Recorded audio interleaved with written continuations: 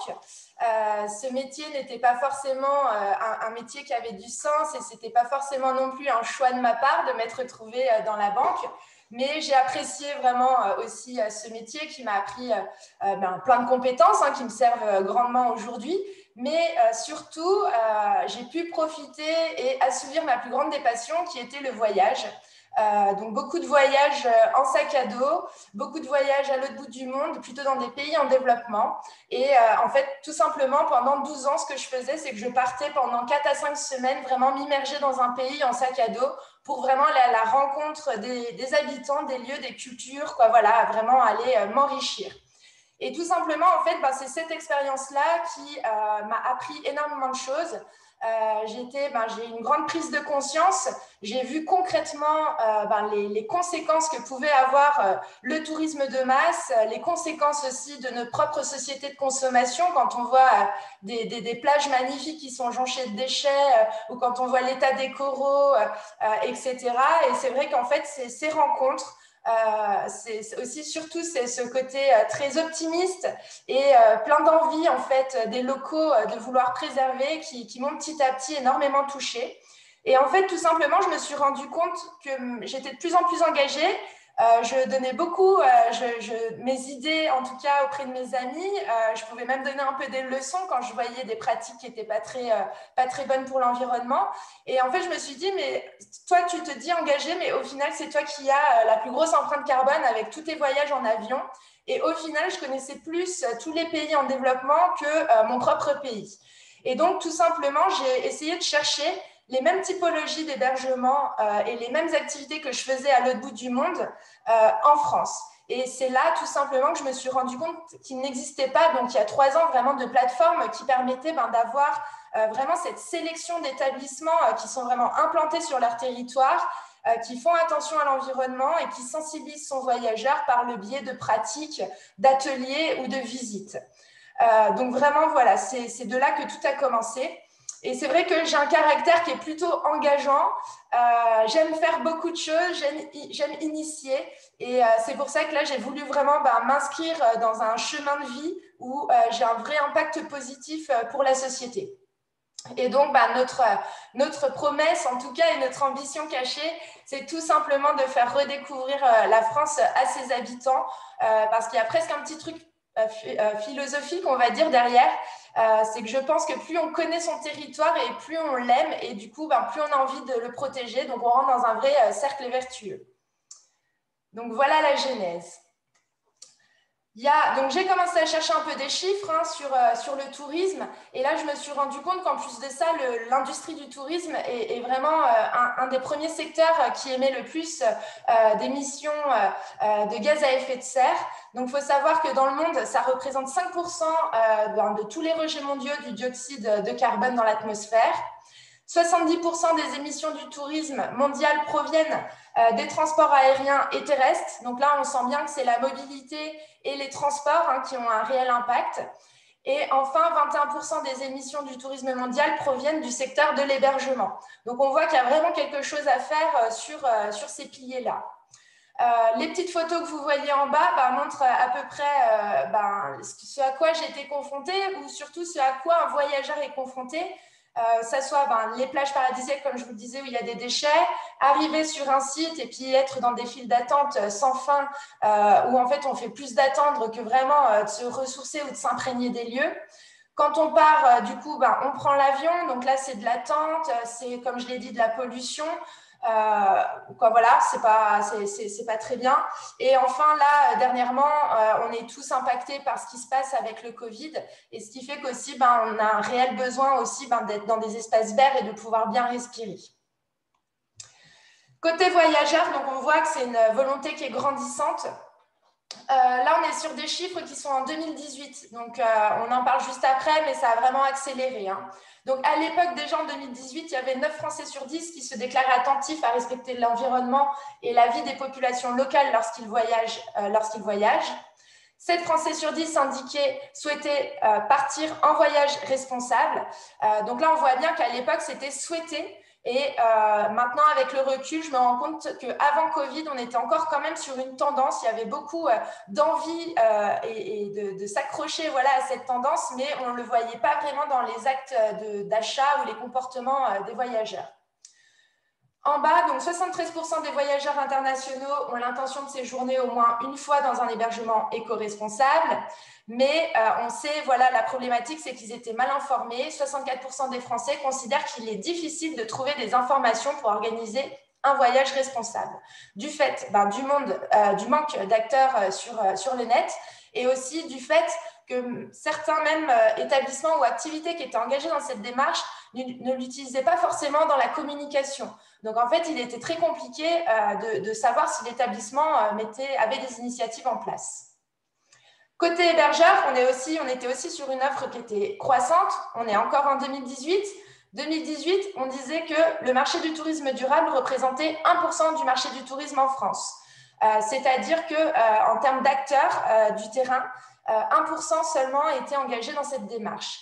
Mais on était déjà face à un taux de croissance annuel de plus de 20%. Donc on sentait qu'il y avait voilà, vraiment cette envie d'y aller et pour donner euh, un autre indicateur, euh, vous connaissez sûrement la clé verte, hein, qui est un des labels euh, les plus connus sur l'hébergement touristique et les activités même.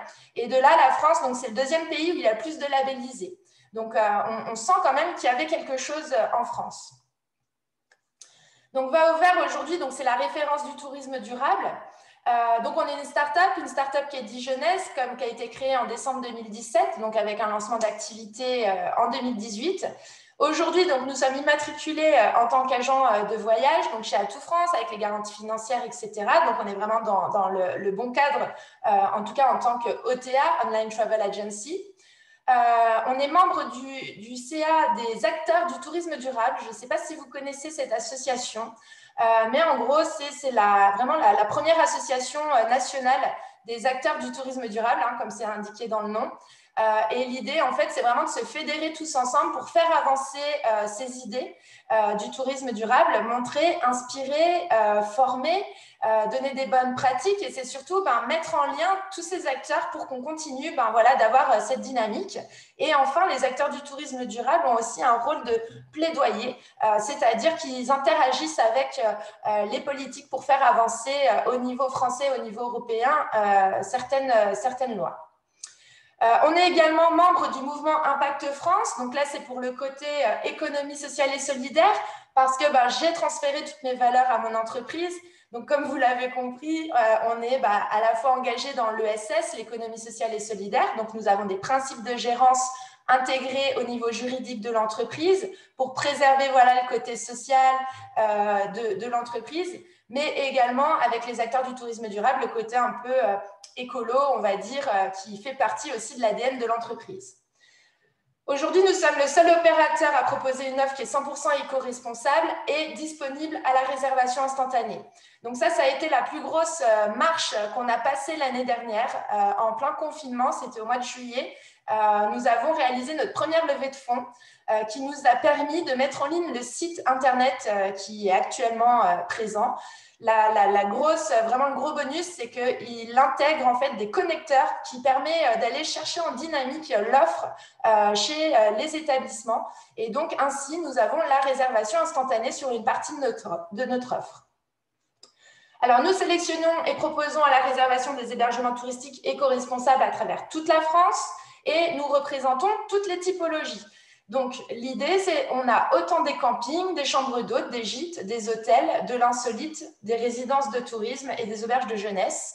Donc, comme vous le comprenez, vous pouvez trouver tout, ben, toutes vos envies en termes d'hébergement, mais avec cette transversale vraiment euh, éco-responsable. Je vous présente un petit coup euh, mon, équipe. Donc, euh, à gauche, on a Florian qui est le chargé de communication. Euh, Gaëlle qui est référente hébergeur, donc c'est elle qui contacte les hébergements, euh, voir, euh, leur engagement. on fait remplir aussi tout notre process de certification pour les accompagner ensuite sur la mise en ligne de leur annonce. Paul, qui est le directeur général de l'entreprise. Il y a Thomas à droite qui a rejoint Gaël. Donc, nous avons deux référents hébergeurs. Et enfin, Florine qui est arrivée dernièrement, qui est notre agent de réservation. Euh, aujourd'hui, donc nous gérons euh, quelques réservations, mais c'est toujours pas euh, la folie. Hein. par contre, de ce fait, en ce moment, elle est beaucoup sur l'inspiration et a créé justement un peu des roadbooks inspirants pour emmener nos, visiteurs du site, ou en tout cas qu'ils puissent commencer à se projeter sur, sur leurs prochaines vacances dès qu'on pourra. Donc notre site internet, vraiment la volonté, c'était à la fois d'être très inspirant, mais aussi euh, pédagogique, c'est-à-dire qu'ils vont pouvoir tout trouver, on est tout en transparence. Donc, euh, on voit que c'est un outil qui est simple, qui est énormément travaillé en termes d'UX euh, design hein, pour que ça soit fluide, qu'on ait envie d'y rester, etc. D'ailleurs, aujourd'hui, tous nos chiffres nous prouvent que la mission est plutôt réussie. Euh, on a beaucoup de, visiteurs euh, tous les jours et ce qui est super euh, sympa, c'est qu'on voit qu'à minimum, ils regardent jusqu'à cinq pages différentes et qu'il reste plus de quatre minutes à chaque session sur notre site. Donc là, on voit, alors après, je sais que ça doit être aussi aujourd'hui, ce qu'on est en train de traverser, c'est qu'on ne peut pas réserver, mais du coup, bah, on va beaucoup sur les sites pour s'inspirer, se faire du bien comme on peut. Donc c'est peut-être aussi ça. Mais en tout cas, voilà comment a été construit le site. Donc, on a plusieurs portes d'entrée, on a multiples pages, hein, parce qu'on sait aussi qu'il faut beaucoup de contenu pour faire arriver, ou en tout cas répondre à une demande, et donc grimper en termes de, référencement naturel. Donc, comme vous le voyez à gauche, euh, on présente en fait chaque établissement, donc on, rapporte vraiment l'humain aussi hein, dans, ce tourisme numérique. Donc c'est pour ça qu'on présente à chaque fois le gérant de l'établissement par une photo on va lui laisser la possibilité ben, d'écrire euh, sa philosophie, le pourquoi il a fait cet établissement euh, avec, avec ces initiatives-là. Ils, vont aussi nous donner ben, leurs deux ou trois petits secrets, donc les choses à faire, ben, toujours dans cette veine éco-responsable à côté de l'établissement. Et ensuite, vous pouvez voir donc notre, notre scoring, donc, qui est vraiment l'innovation qui est reconnue chez Baovert en fait, on a créé un, l'indice bas au vert, qui est en fait un algorithme euh, qui permet de donner un niveau d'engagement à chaque euh, établissement. Pourquoi euh, l'indice bas au vert a été vraiment la première chose que j'ai fait en créant l'entreprise? C'est que tout simplement, il existe une multitude de chartes et de labels euh, dans, le tourisme durable. Et c'est vrai qu'il y a cette approche qui est un peu plus euh, euh, audite et technique, donc pas très, on va dire, marketée et séduisante pour le voyageur. Des fois, il y a des, termes qui peuvent même faire un petit peu peur, où le voyageur, il se dit, bah, je ne vais pas aller dans cet établissement si, je vous dis ça au hasard, mais si par exemple, il n'y a que des toilettes sèches, ça peut rebuter certains. mais voilà, donc l'idée, c'était de faire un outil qui permet en fait de vulgariser euh, tout cet écosystème de labellisation. Et donc, euh, nous avons 94 critères éco-responsables hein, qui sont dans cet algorithme. On les a nivelés, on les a pondérés euh, en fonction de plusieurs choses. Ça, c'est notre petite recette. Mais c'est surtout qu'on les a classés en cinq thématiques pour rendre l'information accessible. Donc, il y a tout ce qui concerne l'habitat, l'infrastructure de l'établissement. Ensuite, toutes les initiatives sur l'énergie pardon, sur l'énergie euh, mise en place euh, chez eux. La gestion des déchets, ça c'est les 3 R. Euh, les principes du développement durable, hein, les 3 R. Le manger sain, donc par exemple, s'il y a des menus pour les végétariens, si c'est locavore, si c'est bio, voilà, on va trouver toutes ces infos-là. Bon, ça c'est peut-être un peu mon côté bourguignon, c'est vrai que j'aime bien manger et ça me manquait un peu dans les labels. et le côté partage euh, ou, et humain. Donc, tout simplement, euh, ben, savoir qu'est-ce qui est mis en place ben, pour apprendre, euh, pour découvrir. Donc, on va retrouver tout ce qui est un peu lié au sport nature, aux mobilités douces, au bien-être. que ce soit psychique ou corporel, et également tout ce qui est atelier. par exemple, apprendre à faire son jardin potager en permaculture, ça, vous pouvez le trouver chez certains de nos établissements. Et donc, euh, voilà, on va inspirer par le biais des régions euh, ou par les thématiques. Donc, comme je disais, c'est humain connecté et engagé, euh, va au vert. c'est vrai que là, enfin, bah, les hébergeurs éco-responsables obtiennent l'attention qu'ils méritent. Les efforts pour l'environnement sont mis en avant dans un cadre légitime et crédible. Je vous l'expliquais avec tout notre process de certification avec l'indice. Euh, mais c'est aussi, bah, comme je l'expliquais juste avant, la présentation bah, de la philosophie, de l'histoire, des petits secrets des autres. À droite, vous pouvez voir, euh, quand on clique sur, euh, sur une, thématique, on voit exactement ce qu'ils ont mis en place. Donc, par exemple, chez Joël, Yves et Fabien, on voit ben, que c'est une maison qui est bioclimatique. Donc là, on est dans l'habitat. On voit qu'ils utilisent des produits d'intérieur et d'entretien bio. voilà, on va vraiment voir ensuite tout ce qui est mis en place. Donc, je vous l'ai expliqué tout à l'heure. Hein, je, suis allée un peu, un peu trop vite là. Mais donc, voilà, là, c'est une réexplication euh, de notre indice euh, qui est notre ingrédient euh, secret. vous retrouvez donc les thématiques. Et donc, en fonction du nombre d'éco-points remplis, l'hébergeur reçoit un niveau général, un score général et un niveau associé. Donc, pour être chez Va Vert, par exemple, donc ça donne un score sur 100%. Euh, ce n'est pas possible. Il faut au minimum avoir 10% du score. Donc, c'est-à-dire qu'il faut déjà avoir engagé sa démarche euh, vers un tourisme durable. Ensuite, de 10% à 20%, euh, ce sont nos jeunes pousses. Donc, ce sont un peu voilà, les débutants, ils commencent. Et l'idée en signant chez nous, c'est qu'ils s'engagent dès l'année prochaine à atteindre au moins le niveau 1. Donc là, on les accompagne. je vais vous présenter juste après. Donc, et ensuite, on a le niveau 1, niveau 2 et niveau 3 pour les plus engagés. Donc, ce qui permet aux voyageurs d'identifier tout de suite la sensibilité euh, de l'hébergement.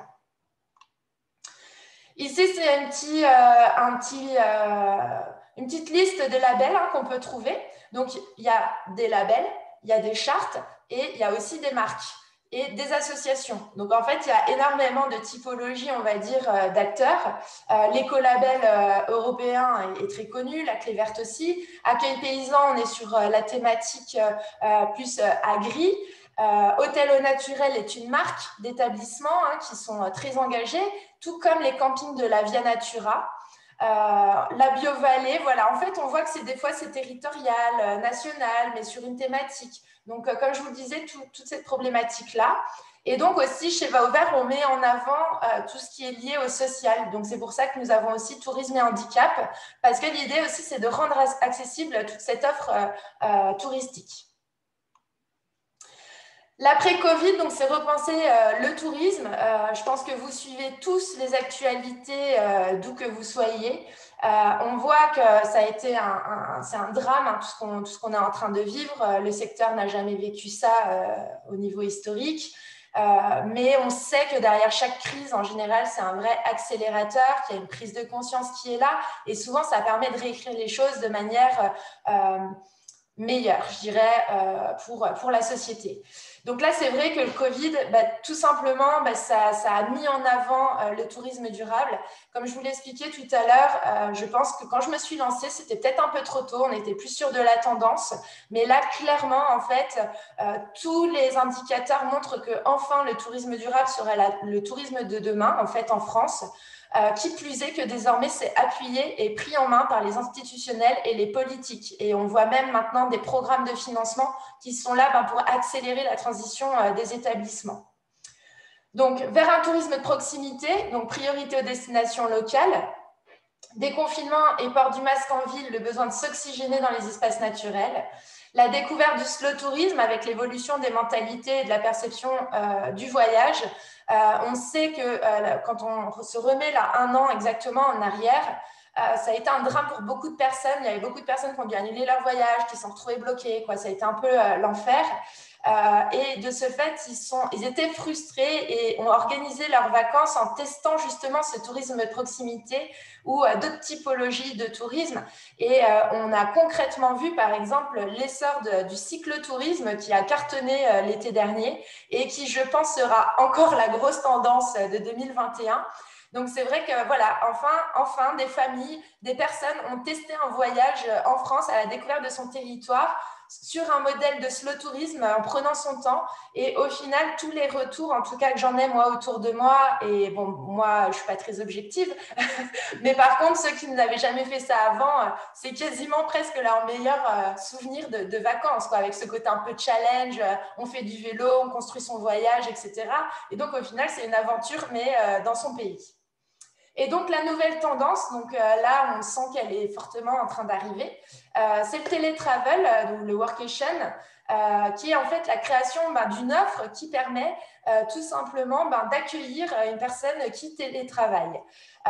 Aujourd'hui même, par exemple, nous, on est en train de, on fait des ateliers avec nos établissements euh, pour justement bah, leur montrer comment faire un vrai espace de télétravail et construire toute une offre derrière. Donc une offre qui est plutôt euh, longue durée, avec un prix doux et un accès justement à une salle où ils sont tranquilles, où ils peuvent ne pas être dérangés, brancher leur, leur portable, travailler, passer des coups de fil ou avoir accès à une imprimante par exemple.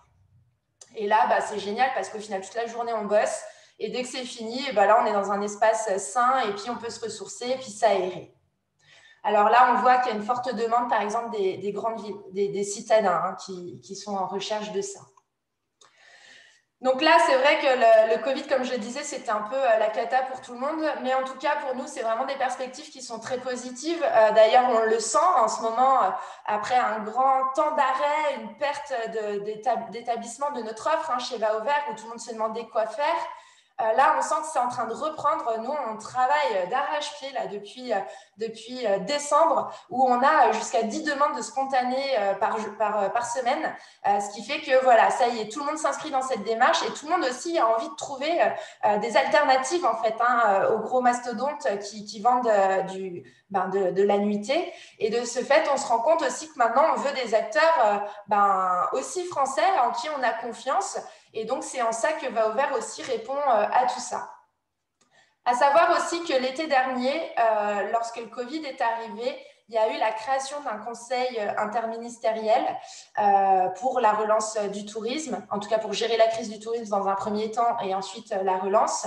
Et parmi euh, tous les projets euh, qu'ils ont mis en place, en fait, ils ont missionné à tout France euh, de, sélectionner les 10 entreprises innovantes françaises sur lesquelles se reposer pour relancer le tourisme après le Covid. Et donc, en fait, on a été très heureux parce qu'on on est arrivé en troisième position ce qui nous a permis aujourd'hui en fait d'être soutenus par Atout France. par exemple, en ce moment, ils nous aident sur la traduction du site. Donc là, notre site sera traduit d'ici deux mois en anglais dans un premier temps. Et également, on voit euh, très régulièrement, on est beaucoup sollicité euh, par, euh, bah, par les médias. et ces derniers temps, des médias nationaux, des, grands médias d'ailleurs, donc ce qui montre vraiment que après trois ans, on a réussi à faire notre chemin et qu'on est bah, considéré comme étant la référence du tourisme durable. Et donc voilà, et si la France était votre plus beau voyage, euh, c'est euh, la petite phrase que j'adore parce qu'au final, à chaque fois quand on parle voyage, euh, on pense partir très loin, mais c'est génial aussi ces voyages-là, hein, c'est tout ce qui m'a fait et qui m'a construit. Mais au final, on peut aussi découvrir son pays. Moi, j'ai fini, Thomas. Et merci Mélanie. déjà, ma, première question, c'est s'il y a des agents de voyage dans la salle qui veulent travailler avec vous, comment, euh, comment tu fonctionnes et, euh, comment ça marche? Est-ce que déjà tu as une piste de réflexion autour de ça ou pour l'instant, euh, ce que tu me disais avant qu'il y avait quand même quelques agents de voyage qui commençaient à te contacter Ouais. et donc voilà, ma question. Alors, Thomas, j'ai pas entendu la fin. Bah, juste ça. C'était que ma première question, c'était ça, savoir si. c'était juste ça, savoir si tu avais des pistes de réflexion pour travailler avec les agences de voyage. en fait, aujourd'hui, donc, comme je l'ai dit, on a, refait entièrement notre site internet hein, qui inclut euh, une licence qui permet ben, à la fois euh, d'être euh, dynamique avec tous ces connecteurs, mais qui permet aussi de créer des catalogues, des agences de bas au vert. Donc, en fait, on, peut passer par ce système-là pour, en fait, sous utiliser, on va dire, le catalogue de l'offre. On n'a pas encore été jusque-là parce que je t'avoue qu'on est beaucoup dans la gestion de la crise ces derniers temps. Donc, au final, on a l'outil pour, mais on n'a pas eu encore le temps euh, d'aller dans ce sens. Et ce qui fait que là, les agences de voyage, en tout cas, ou euh, les Théo qui nous ont contactés, euh, là, on le fait complètement gracieusement, c'est-à-dire que bah, sélectionnez qui vous voulez sur le site, vous nous contactez et on regarde ensemble. Donc là, c'est vraiment encore un peu artisanal. Et c'est pour ça que l'idée, euh, bah là, c'est un peu de se professionnaliser, euh, de créer un vrai process. Et c'est en là, euh, en ça que justement, comme je te le disais, moi j'aurais bien besoin justement de vos conseils, de vos façons de faire. Et on est beaucoup dans la co-construction chez Va Vert, donc ça pourrait être justement un moment idéal, ou en tout cas d'ouvrir mon réseau et là de faire connaissance avec des gens qui pourraient devenir acteurs aussi de cette transformation. De toute façon, on va faire le, sondage euh, un peu après. Euh, il y a des réceptifs qui demandent, euh, Emmanuel notamment et Luc aussi, qui sont respectivement au Sri Lanka et au Maroc, qui demandent si, si tu as l'idée d'ouvrir ça à des hébergements hors de France. Ou alors non. si, bien sûr que c'est une ambition qu'on a. Bah, être à l'international, bien sûr. Alors déjà, dans un premier temps, il faut savoir, par exemple, moi qui suis à Dijon, à moins de deux heures, je me retrouve en Suisse. Donc déjà, en termes d'impact carbone, moi, il vaut mieux que j'aille en Suisse plutôt qu'en Bretagne ou en, PACA. Donc, ce, qui, montre déjà que tous les pays limitrophes peuvent rentrer vraiment dans, notre, dans notre champ. Euh, et par la suite, pour euh, tout euh, vous dire, l'idée, ça serait d'exporter le concept à l'étranger, mais que ça soit porté par des, gens du pays. C'est-à-dire qu'en fait, comme vous le comprenez, va au vert, c'est lié à une, à une expression qui est très française, hein, que j'utilisais beaucoup quand j'étais en train de craquer dans la banque. Il fallait que je me mette au vert. Et en fait, tout simplement, c'est comme ça qu'est arrivé le nom de mon entreprise j'étais tout le temps en train de dire, faut que je me mette au vert, faut que j'aille au vert, etc. Et en fait, voilà, l'idée, ça serait presque de chercher euh, ce genre d'expression dans la langue euh, du pays et vraiment d'exporter le concept où euh, l'idée, c'est vraiment ben, voilà, de proposer aux habitants de redécouvrir leur pays. Ok. Il y a et autant te dire, Thomas, que le Covid a un peu freiné nos ambitions hein, de développement. Donc, donc normalement, c'était prévu pour l'année prochaine. Et là, on est en train de reculer un peu le bébé. Décaler les échéances, quoi. Voilà, c'est ça. Il y a Jérôme qui demande si vous proposez aussi des activités ou si vraiment sur le, pour le moment vous êtes que sur des, hébergements. Alors, euh, la machine est déjà dimensionnée pour les activités. On a déjà commencé le travail. D'ailleurs, nous avons une super stagiaire en ce moment, Aurore, euh, qui est belge euh, et qui travaille justement pour dimensionner tout ça. bien sûr, bien sûr, en fait, nous, l'idée, c'est de proposer vraiment une expérience globale à la carte au final. Donc, c'est-à-dire que tu vas pouvoir réserver ton établissement et tout de suite, on te suggérera euh, des activités qui sont aussi euh, chartées euh, éco-responsables. Donc là, on est en train de créer l'indice pour les activités, comme on fait ben, pour les, les, certifiés qui sont bien dans cette démarche, et pouvoir ben, rendre accessible cette offre. Et tout cela, ça sera plutôt dans une application qu'on est en train de développer et qui serait en fait le compagnon euh, vous avez vu notre petit oiseau euh, qui est notre logo. Et ben voilà, donc ça serait, euh, ben, on l'appelle Jean Bio hein, pour info, notre petit oiseau. donc en fait, ça serait Jean Bio, Jean Bio, le compagnon de, de, séjour éco-responsable. Et donc là, on verrait les activités et ça sera utilisable soit lors de son séjour, mais aussi le temps de votre week-end, par exemple, à la maison et vous voulez voir les activités qu'il y a autour. Ok. Euh, parfait, bah, on a hâte de voir ça. Euh, il y a Jackie, alors Luc précise que son idée va au-delà, c'est effectivement comme Elanie est en train de l'expliquer, de décliner carrément va au vert ici au Maroc. Donc voilà, donc tu vois, si, si jamais tu cherches des contacts, apparemment il y en a qui sont euh, qui seraient potentiellement intéressés. il y a, est-ce que Jackie qui demande si tu as une idée du nombre d'hébergeurs potentiels pour présenter leur offre sur la plateforme va au vert à terme? Alors, une idée, je lis la question, une idée du nombre d'hébergements potentiels alors euh, là, en ce moment, donc comme je l'ai dit, euh, cette, euh, cette, année, ça a été un peu la cata. On a perdu la moitié de notre offre. Hein. On avait 350 établissements en France avant le premier confinement. Les, les, trois premiers mois de confinement, on est, on est redescendu même, ça a été trois fois à, à, 120, 125, donc ça a été un peu la cata. J'ai eu l'impression que je repartais deux ans en arrière. Quoi. Euh, mais là, comme je vous l'ai dit, on voit bien cette dynamique de reprise. Et à horizon de 4-5 ans, euh, on prévoit d'avoir euh, plus de 3000 établissements. et je pense que c'est même un peu prudent comme, comme vision, parce que là, comme je vous l'ai dit aussi, en ce moment, il y a plein de programmes de financement qui sont distribués par l'ADEME et par l'État et ce qui fait que euh, à aujourd'hui, en tout cas, tous les financements euh, pour les en France hein, euh, pour les établissements touristiques dépendront de leur accès, en tout cas, au tourisme durable. Et est-ce que quel est ton business model si tu peux nous, le décrire? Oui, mon business model, alors nous, on est un peu, moi à chaque fois, je, je suis souvent le, poisson qui remonte la rivière, hein, c'est-à-dire qu'on ne rentre pas dans les cases. et pour ce faire, tout simplement, notre business model, il est, il est mixte. Donc, on a une adhésion qui est annuelle euh, et qui apporte à l'hôtelier euh, vraiment euh, un nombre de services et vraiment un accès à une communauté. donc, cette adhésion, elle est située entre 120 et 200 euros en fonction de la typologie et la capacité. Et ensuite, on se challenge sur l'apport d'affaires avec une commission, une commission qui est à 13%, 13% sur le panier qui est payé. Donc, à savoir, par exemple, que dans l'adhésion, ils rentrent vraiment dans la communauté, donc il y a des groupes de parole, voilà, on, leur donne de la veille, on les inspire, on les fait se parler, se donner les tips entre eux. Mais il y a également, par exemple, un reportage photo, parce qu'on voit bien aussi qu'il y, a vraiment cette problématique de compétences les compétences dans le tourisme ne sont pas homogènes et on sait que tout passe par la communication et par les photos. Donc, chacun de nos établissements, en tout cas, bénéficie d'un reportage photo. Et euh, également aussi, bah là, j'en ai un sous la main, euh, on a créé euh, le guide du parfait éco-voyageur. Donc ça, tous nos établissements vont bientôt les recevoir et l'idée, c'est de sensibiliser tous les visiteurs des établissements. Donc là, on voit vraiment ce côté où on accompagne à la sensibilisation. Et est-ce que sur les, tu disais tout à l'heure que sur les différents critères de, de Va est-ce que c'est quelque chose que vous vérifiez? Alors, j'imagine pas systématiquement, mais oui, vous y allez systématiquement sur place. Comment vous fonctionnez là-dessus? Non. Alors, euh, comme j'ai dit, je suis assez écolo. Hein.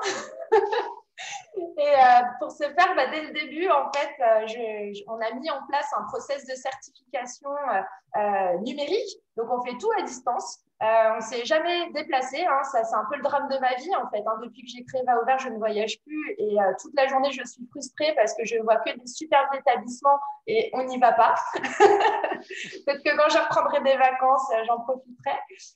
mais en fait, l'idée, si tu veux, c'est qu'on les accompagne à remplir une, donc la grille de critères euh, comme je l'ai dit aussi, les critères sont pondérés. Euh, il y en a qui sont très fortement pondérés.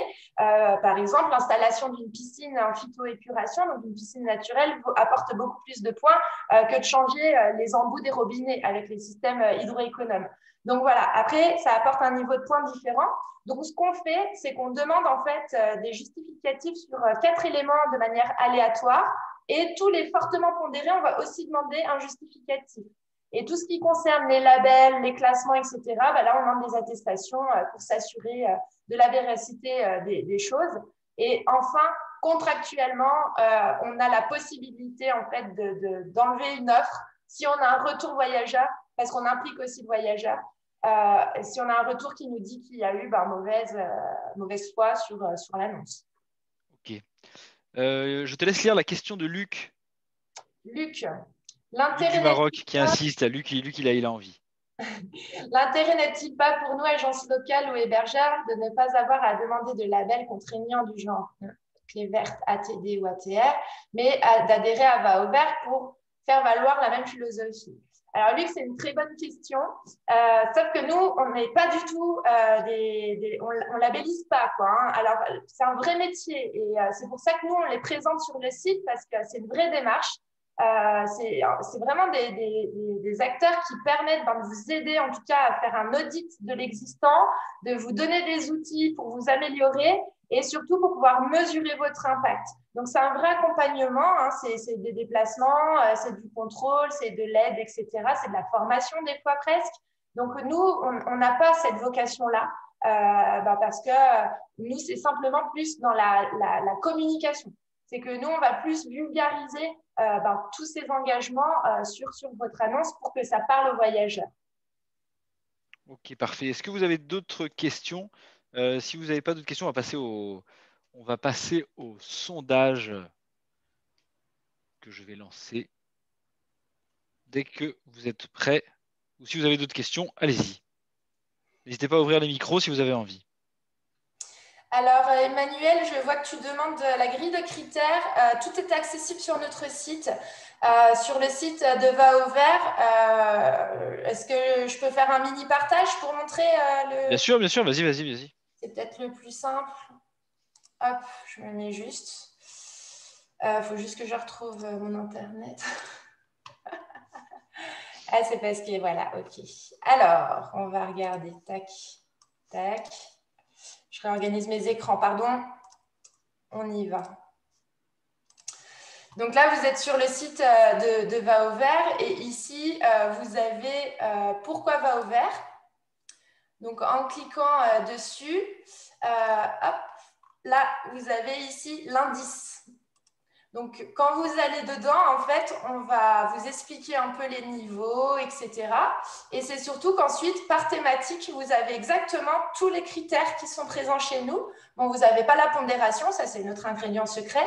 Mais en tout cas, voilà, par exemple, isolation euh, naturelle. En plus, vous avez des petites définitions euh, à chaque fois, donc ce qui permet ben, de, tout simplement euh, voir et comprendre un peu plus. Donc, n'hésitez pas à aller dessus, il y, a tout qui est accessible. Oui, effectivement, parce que j'imagine que l'idée d'Emmanuel, c'est de voir comment il sélectionne effectivement ses hôtels euh, s'il veut aller euh, vers du tourisme plus durable et dire que ça, ça lui mâche le boulot, quoi, en gros. C'est ça. en quelque sorte. Alors, je vais vous partager, euh, je vais partager mon écran et je vais vous mettre un lien sur lequel vous pouvez aller. alors, je ne suis pas encore spécialiste de cette option, mais je pense qu'on devrait s'en sortir. Hop. Que vous me dites si c'est tout bon pour l'écran. Euh, ensuite, il faut que je lance. C'est un paf. Alors, je crois que je l'ai lancé. Donc, théoriquement, vous devez pouvoir répondre. Ou je vais me retrouver comme la dernière fois avec la même euh, erreur. Oriane, je te laisse me dire, toi qui es spécialiste de WooClap. Normalement, c'est bon, mais du coup, il faut soit inscrire le code. Si bon, les gens, les gens commencent à. Soit le flashcode. Donc vous pouvez en fait voilà avec le, lien que je vous ai envoyé, le petit code, vous pouvez entrer sur le et vous voyez en temps réel. Donc la première question, est-ce que ça vous intéresse de travailler avec une plateforme qui possède un réseau d'hébergement éco-responsable en France? Donc effectivement, on n'a pas que des agents de voyage, euh, Mélanie dans la salle, donc il y a des réceptifs, donc peut-être que tout le monde ne va pas répondre. Après, on peut imaginer si vous êtes agent de, si vous êtes réceptif et que vous aviez ça dans votre pays, est-ce que ça pourrait vous intéresser? Ça peut être aussi, euh, ça donnera une piste. Bon, en même temps, si quelqu'un répond non sortir de la salle. je laisse encore quelques minutes. Oui, bon, forcément, on a beaucoup de réponses. Je vous laisse vous connecter encore un peu. Et du coup, les hébergeurs reviennent et il y a beaucoup d'hébergements qui, euh, qui, qui, sont en train de changer. Donc, toi, tu constates qu'il y a des hébergements qui n'étaient pas éco-responsables et qui essayent de le devenir en ce moment, en fait. Ouais, alors là, on va rentrer euh, dans une nouvelle ère. Hein. Je dirais qu'il va falloir, quoi. Par exemple, ces derniers temps, c'est vrai qu'on observe euh, du greenwashing. C'est-à-dire qu'il euh, y en a qui essayent justement de s'inscrire dans cette tendance alors qu'en fait, ils ne le sont pas du tout et c'est simplement pour aller chercher du, remplissage hein, de leurs établissements. mais par contre, en ce moment, nous, on est beaucoup contactés par des porteurs de projets ou des personnes qui ont racheté des établissements et qui veulent vraiment s'inscrire dans cette démarche. Donc oui, on, le voit, on le sent. Et est-ce que, tu, les accompagnes parfois? Tu fais un peu de. Ou tu n'as pas du tout cette activité de conseil autour de ça? Ça, tu l'as le fais pas Non, non. Et puis, euh, au sein des acteurs du tourisme durable, euh, dans cette association, il existe hein, des cabinets euh, de consulting, de conseil, etc., qui, accompagnent soit vers une simple démarche ou même jusqu'à une démarche de labellisation. Et donc, l'idée, bah, c'est en fait faire travailler son réseau. Donc, on est plus à donner des conseils, à, donner voilà, des, des, des infos pour qu'ils puissent commencer cette démarche, mais euh, non, on ne le fait pas nous en interne. Nous, on sera plus sur des petits conseils euh, comme ça dans, du blog, euh, dans, notre forum où on discute avec nos établissements. Mais aujourd'hui, on n'est pas à leur côté sur le terrain. De toute façon, nous, on aura bientôt une émission d'ailleurs sur le sujet des, labels et des, certifications, etc. pour voir un peu, parce qu'il y en a quand même pas mal, et donc pour voir un peu la, différence et se retrouver dans tout ça. Euh, alors là, c'est une question spécifique agent de voyage. Hein. Jusqu'à combien de temps avant la date de séjour permettez-vous la réservation? Donc, euh, allez-y, répondez. Euh, si vous êtes réceptif, vous pouvez répondre aussi comment vous fonctionnez avec vos clients B2C. Ça donne, ça donne des, idées à Mélanie sur comment ça fonctionne.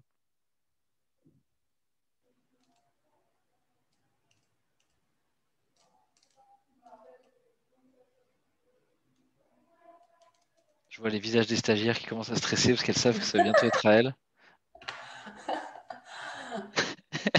Et la pression monte, la pression monte là, là c'est bientôt à vous là.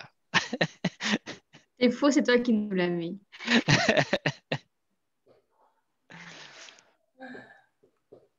Hop, je passe à la question d'après. Quelle est votre jauge minimale de participants par séjour proposé? Ça, c'est pas simple. Moins de 10 packs, 10 à 20 packs. 20 à 30, plus de 30 max. Voilà, en théorie. Euh. Donc pour bien retourner la question, en gros, c'est euh, le nombre minimum de participants par voyage que vous proposez. En gros, c'est ça. C'est savoir si vous êtes plus sur de l'indiv, en gros, ou sur du groupe, pour ceux qui sont présents. En fait, c'est qu'on puisse se projeter euh, sur euh, nos typologies. Comme vous l'avez compris, euh, on, représente plutôt des, petites structures ou des indépendants. Et c'est vrai que si jamais c'est des groupes de 30 ou 40 personnes, c'est un peu délicat dans le tourisme durable. surtout qu'en plus, on sait que quand il y a trop de monde, des fois, c'est un peu antinomique avec ces, valeurs environnementales. c'est vrai que de toute façon, nous, les gens qui, qui virevoltent autour de Together sont en général des gens euh, qui sont spécialisés sur l'individuel et sur le sur-mesure. Donc, ça sera forcément. Euh, Super. On a plutôt cette, cette cible-là. Euh, les typologies que vous recherchez le plus des hôtels, des campings insolites, gîtes, chambres d'hôtes, villages vacances Oui, parce que dans les hébergements, il y a des hébergements. C'est vrai qu'on on a tendance à imaginer forcément éco-responsable, on a tendance à imaginer forcément des chambres d'hôtes ou des, ou des établissements comme ça, mais un, hôtel standard peut être éco-responsable euh, sans forcément être en bois et, euh, avoir des toilettes sèches. On a des super, super exemples hein, d'hôtels, euh, même un peu luxe. Hein. il y en a un qui est du côté de Perpignan, c'est le, domaine de Ribérache. c'est magnifique, c'est des anciennes cuves, une coopérative en fait de, de vin euh, qui ont été réhabilités par des architectes. Et euh, voilà, c'est, tout est bio, tout est local. Il y a une piscine en phytoépuration, mais elle est magnifique. Quoi, voilà, il y a, y a, aussi de très belles œuvres. Et d'ailleurs, c'est un des préjugés en général hein, sur le durable. Soit on pense que c'est très cher et inaccessible, ou soit on pense qu'on est dans un champ, euh, comme tu le disais, avec les toilettes sèches. Mais non, en fait, il y a vraiment tous les services et toutes les qualités. moi, j'étais au Costa Rica pendant longtemps et effectivement, il y avait il y avait des hôtels comme ça qui étaient des hôtels de luxe et qui, qui, respectaient tous les critères de, de l'éco-responsabilité. Euh, hop, j'enchaîne parce que je sais qu'après, tu dois partir. Euh, tac, tac, tac. Off destination durable, ce nouveau positionnement est-il une véritable stratégie à long terme ou juste un marché de repli?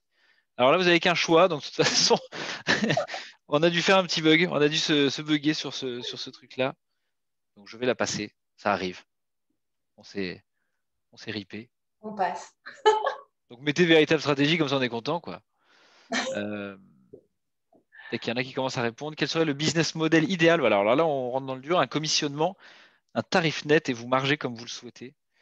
Euh, c'est vrai qu'il y a les deux. Enfin, voilà. En plus de ces deux choix, un système de rétrocommission selon les ventes. Plus vous vendez, plus vous avez une commission élevée ou une autre proposition. Et si vous avez une autre proposition, il faudra soit la mettre dans le chat, soit l'envoyer à Mélanie par mail. Euh,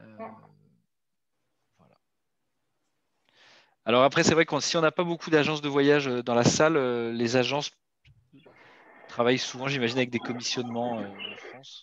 Oui, c'est un peu la bonsoir, c'est un peu la question que j'allais poser en fait, parce que ça n'a pas été trop abordé par rapport aux, agences. Si on veut utiliser le, site, voilà, c'est comment on peut mettre en place un commissionnement. Quoi. Eh bien, d'où la question. Mélanie, bonjour. Euh, oui, on se on également. Hein. Mhm. On s'est déjà rencontrés à plusieurs reprises. La dernière fois, c'était notamment sur le Travel Direct à la Halle des Blancs Manteaux. Ah oui, quand on avait encore des salons. Donc ça date, voilà, ça date un petit peu, mais. Euh, ouais, c'était chouette. Ouais, dans un là également sur Lyon. Voilà, donc c'est vrai que ça fait plaisir de voir euh, bah, voilà, comment, tu, comment tu as évolué comment ça a avancé euh, depuis cette période. C'est sympa, c'est super. Ah bah, Bravo. tout mon cœur et toute mon énergie, donc euh, ça va, ça, ça, quoi, ça va. J'espère que le Covid ne va pas durer trop longtemps, mais. le moral est là, en tout cas. ouais. tac, j'enchaîne la question d'après. Seriez-vous intéressé par la création externalisée de packages éco-responsables en France? Euh, sur une échelle de 1 à 5. Euh, qu'est-ce que tu entends par package éco-responsable? C'est activité, euh, hôtel, etc. On a été aussi approché, alors je sais que c'est votre métier hein, pour la plupart, mais on a été approché justement pour créer vraiment du séjour packagé. Et ensuite, il y a une sorte de co-branding où bah, le, voyagiste en fait vend un séjour de sa marque, mais touché par Va au vert, quoi, sur ce côté très éco-responsable. Et étant donné que nous sommes ben, agence de voyage et l'immatriculation à tout France, nous avons tout à fait la possibilité, et c'est pour ça aussi que Florine est arrivée dans nos locaux, où elle, elle est vraiment agent, agent de, de, voyage au final. Et euh, donc l'idée, c'est de savoir si nous, on crée un catalogue euh, de séjours, est-ce que vous seriez intéressé en fait de, ben de, nous les, de nous les vendre, en fait, tout simplement. C'est-à-dire que là, vous ne viendrez pas prendre que les établissements, mais qu'en fait, vous prendrez euh, ben, un séjour euh, tout, créé par Va au Vert et logoté du coup euh, tourisme durable. Et donc, expérience, activité comprise? Oui, sauf le transport. Ok. En sachant qu'à chaque fois, nous, on préfère un départ ben, proche d'une gare parce qu'on quand même on sensibilise aussi au, transport public et le, train est un, bon moyen de transport. Donc, euh, donc voilà, ça serait en gros euh, arriver à une gare et là, on s'occupe euh, du roadbook et de, gérer, de réserver toutes les activités et l'hébergement. Ah, c'est sacrément un autre métier. Mais il faut se réinventer, il faut réfléchir. hop, et voilà. Donc on a posé toutes les questions. Mélanie, de toute façon, je t'enverrai tous les résultats. Génial. merci à toi. Est-ce que si vous avez d'autres questions, d'autres commentaires, d'autres juste des félicitations même, n'hésitez pas. Euh, elle prend tout. Donc euh, allez-y, si vous avez des commentaires ou quoi, n'hésitez pas. De toute façon, euh, vous pouvez me retrouver sur LinkedIn. ça marche très bien. Vous pouvez me trouver facilement. Et si jamais voilà, vous voulez qu'on continue de parler de ces opportunités-là ou si vous voulez m'aider à, construire ça, c'est le meilleur des moyens et on pourra continuer à échanger du coup après l'émission. Eh ben, merci beaucoup, Mélanie. Euh, s'il y en a, bah, voilà, je mettrai le, j'enverrai le replay de toute façon à tous les participants avec euh, tes coordonnées, donc ils pourront te contacter. Et je t'enverrai aussi la liste des participants si jamais ça, t'intéresse. Ça marche. Euh, eh ben, génial. Du coup, je vais vous laisser. Merci beaucoup. Merci à toi. Bah, bonne suite de l'émission. Merci, à bientôt. Au revoir, merci. Et donc, le moment que vous attendez tous, il est là, il est magnifique. C'est le moment clé de la semaine. Tout le monde est resté que pour ça d'ailleurs. C'est Oriane et Aurore, les piles AA. Arrête de leur mettre la pression. Ah, elles adorent, elles adorent, ça les fait rigoler. Alors allez-y, on vous laisse, c'est la chronique de nos stagiaires que vous retrouverez tous les jeudis. Voilà. Donc Oriane, Aurore, c'est à vous, à vous les studios. Je vous laisse, vous avez la main pour partager l'écran, faire ce que vous voulez. Ok, alors je vais partager mon écran. Vous me direz si vous voyez bien.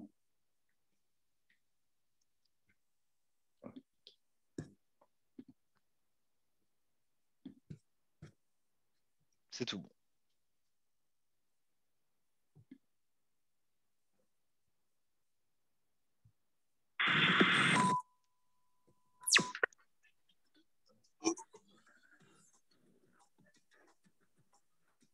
Ah, pas partagé.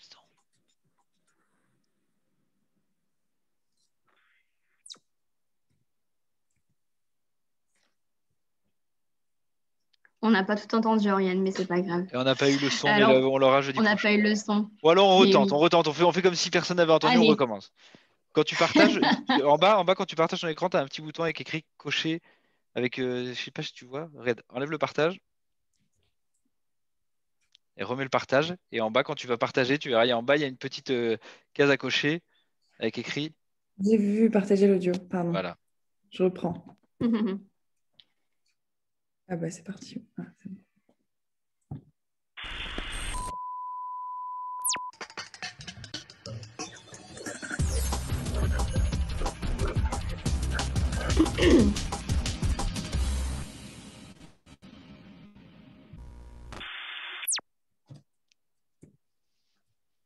Alors bonjour à tous et donc merci d'être restés jusque-là pour nous, pour nous écouter pour notre chronique, notre première chronique, la chronique des stagiaires, aussi appelée la chronique du double A, double A pour euh, Oriane et Aurore.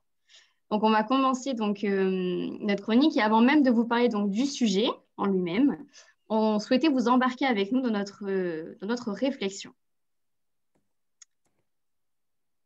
Donc jour 1, Mardi 2 mars 2021, 9h30, on est accueilli par Thomas à Marseille pour notre premier jour de stage. 9h35, il nous offre des croissants. 10h, il nous parle de nos missions. 10h15, il nous annonce qu'on doit faire une chronique pour l'émission Z de jeudi. 10h30, je la regarde, elle me regarde, et là on comprend qu'on va devoir créer et présenter une chronique en 24 heures chrono. 15h15, on profite d'une pause pour en discuter. Oriane me dit, t'as des idées? Je lui réponds, ben non, pas trop, et toi? Bon, ok, on verra plus tard. 18h, fin de journée, quelques idées émergent sans être réellement convaincus. Bref, on doit faire une chronique. Jour 2, mercredi 3 mars 2021. 8h30, on se lève avec la mission en tête. 9h40, rendez-vous journalier et coup de pression de la part de Thomas en nous annonçant qu'il y aura plein de monde à l'émission. 11h03, on se lance sur la préparation de la chronique. 11h05, de nombreux dialogues émergent, mais on n'est pas réellement emballé par une idée. Le doute s'installe. 10h05, en manque d'inspiration, Aurore tape sur Internet comment faire une chronique pertinente. Midi 10, et si on crée une chronique qui explique comment faire une chronique? Midi 15, l'idée nous emballe. Midi, oh, midi 15, midi 16, pardon, on envoie euh, un mail à Thomas en disant on change d'idée, on garde la surprise, on espère que ça vous plaira. Midi 22, je me resserre une, tasse de thé. On tient donc notre idée. 14h13, on se remet à travailler et on se dit Mais notre chronique, elle doit quand même apporter quelque chose au public, non? Alors voici la rubrique des bons conseils des stagiaires. Ou bien la rubrique des bons conseils du AA. tout d'abord, on va vous expliquer à quoi ça sert une chronique et qu'est-ce que c'est qu'une chronique. Donc, une chronique, de base, historiquement, c'était une rubrique de faits historiques et maintenant, ça, a plutôt dévié pour devenir quelque chose de très court et qui a pour but de présenter un sujet euh, de manière euh, informationnelle ou humoristique. Et, euh, et, ça a vraiment pour but de reprendre les ordres chronologiques d'un événement. Donc, on va, passer au conseil. le conseil numéro un pour faire une, une bonne chronique, c'est trouver en fait le bon sujet. Euh, ce n'est pas forcément la phase d'inspiration qui sera la plus importante, mais le sujet en lui-même et le ton en fait que vous allez transmettre. Donc, il euh, ne faut surtout pas hésiter à, s'inspirer, que ce soit de l'actualité, euh, des infos qui sont assez insolites que vous pouvez par la suite développer et aussi le rattacher à quelque chose de plus personnel. Mais aussi, ne pas hésiter à s'inspirer de votre humeur du jour en vous l'envoyant le matin, que ce soit quelque chose de sympa, de triste, de, de jovial. Donc, donc voilà, on va passer au conseil numéro 2. Alors le conseil numéro 2, c'est de traiter son sujet. Donc il est important que le sujet vous parle d'abord, que c'est quelque chose qui vous passionne, qui vous intéresse, parce que parler pendant 10 minutes de quelque chose qui ne vous passionne pas, ça peut être un peu long. Et c'est de se poser les bonnes questions aussi. Qu'est-ce que l'audience va retenir? Comment aborder son sujet Et qu'est-ce que vraiment euh, les gens ont envie d'entendre? Euh, Mais il faut aussi choisir l'angle qu'on veut aborder. Est-ce qu'on veut que ce soit informationnel, humoristique, euh, ou bien prendre un thème sérieux parce que tous les, tous les sujets ne méritent pas forcément de l'humour. Et, euh, et, enfin, il est nécessaire de prendre son temps à faire une bonne chronique. Il est normal de se planter et de recommencer mille fois. Nous, on a essayé mille sujets avant de se décider, donc euh, prenez votre temps surtout. On passe au conseil numéro 3. Donc, en effet, le conseil numéro 3, c'est le format. Donc, quel format vous souhaitez donner à votre chronique? Euh, en premier lieu, c'est d'adapter son format à ses auditeurs, que ce soit une vidéo, un audio, euh, un article, une présentation. Donc, c'est à vous de choisir le bon format qui correspond le mieux. Le deuxième point, qui est d'adapter son format selon son sujet. Donc, même si on peut adapter euh, désormais tous les sujets à n'importe quel format, il est quand même important de prendre en compte le, sujet hein, pour que le message soit délivré correctement. Et si votre format est imposé, que ce soit en radio, en presse, en vidéo, il est d'autant plus important de se référer du coup au premier point, au premier conseil et de choisir du coup le bon ton euh, à, aborder. Le conseil numéro 4, c'est vraiment privilégier quelque chose de court, que ce soit un écrit à la radio ou euh, ici en visio comme on est en train de le faire. Il faut vraiment que ce soit court et percutant pour la personne. Donc soyez clair, précis et concis. Aussi, c'est important de réaliser une accroche personnelle comme on l'a fait. On vous a raconté une histoire, une anecdote, ou quelque chose dont la personne qui vous écoute va, ou vous lit va se souvenir. il faut bien organiser, comme on le disait précédemment, de suivre un, fil chronologique ou un fil rouge tout au long de votre chronique. Et enfin, on va passer au dernier conseil, le conseil numéro 5. Donc, en effet, le dernier conseil, c'est tout simplement d'être soi-même. Euh, il faut que cette chronique euh, reflète votre personnalité et que l'on sache qui se cache derrière euh, celle-ci. N'hésitez pas à mettre votre, votre patte, votre façon d'écrire, votre façon de, de raconter, d'amener les choses. Il faut vraiment qu'on vous reconnaisse. Le deuxième point, c'est de ne pas hésiter à se lancer, à s'engager, à prendre part à son sujet. Et le troisième point, qui est d'être vous-même et surtout d'être créatif, parce que ça paie toujours. Et donc, pour terminer, on aura un seul mot de la fin, ça serait bref. On a fait une chronique. Donc voilà, on vous remercie. Bah, je pense qu'on peut, on peut si tout le monde veut allumer son micro et l'applaudir, voilà. Fabrice adore ça, donc on veut le faire. Wouh Bravo Bravo Bravo Super Excellent. Et eh ben bravo, c'était super, parfait. bravo. Vous aurez le replay, vous l'aurez toute votre vie. Et puis à jeudi prochain pour la nouvelle, la future chronique. On enchaîne tout de suite, sans transition, avec l'atelier. Hop, je crois que j'ai pas bien fait. Je recommence. C'est l'émotion.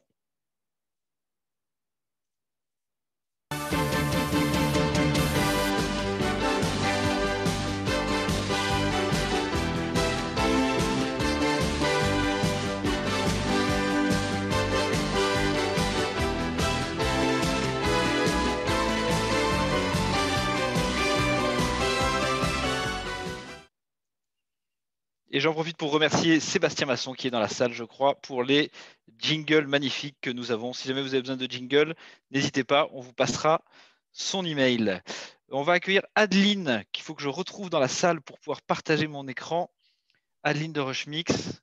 Je vais mettre ma vidéo, ce sera plus simple. Émilie, qui est sous le pseudonyme de Émilie, pour être incognito. alors ça Ah. C'est pour ça que je ne te trouvais pas. Donc, euh, pour l'anecdote, je, ne trouvais pas Adeline. Je ne trouvais pas. C'est pour, ça que je ne trouvais pas Adeline tout à l'heure dans la salle et je me suis inquiété. Je l'ai même appelée pour savoir si, elle, si, elle, était là. Voilà. Mais non, je, suis là. Et c'est Adeline, pas Émilie. voilà. Je te passe en co-animatrice. Comme ça, tu peux partager ton écran. Euh, donc, Adeline et travaille chez Rushmix. Rushmix, qui, elle va vous expliquer tout. C'est au sujet de vidéo. Voilà.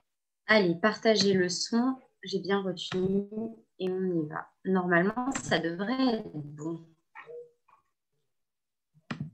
Alors, donc du coup, bonjour à tous. Donc moi, je suis Adeline. Je pense que vous m'entendez bien. Vous me dites si vous ne m'entendez pas. Euh, je suis en charge du développement commercial de Rushmix. Ce que je vais faire, c'est que je vais vous parler un petit peu aujourd'hui euh, de communication et communication version vidéo.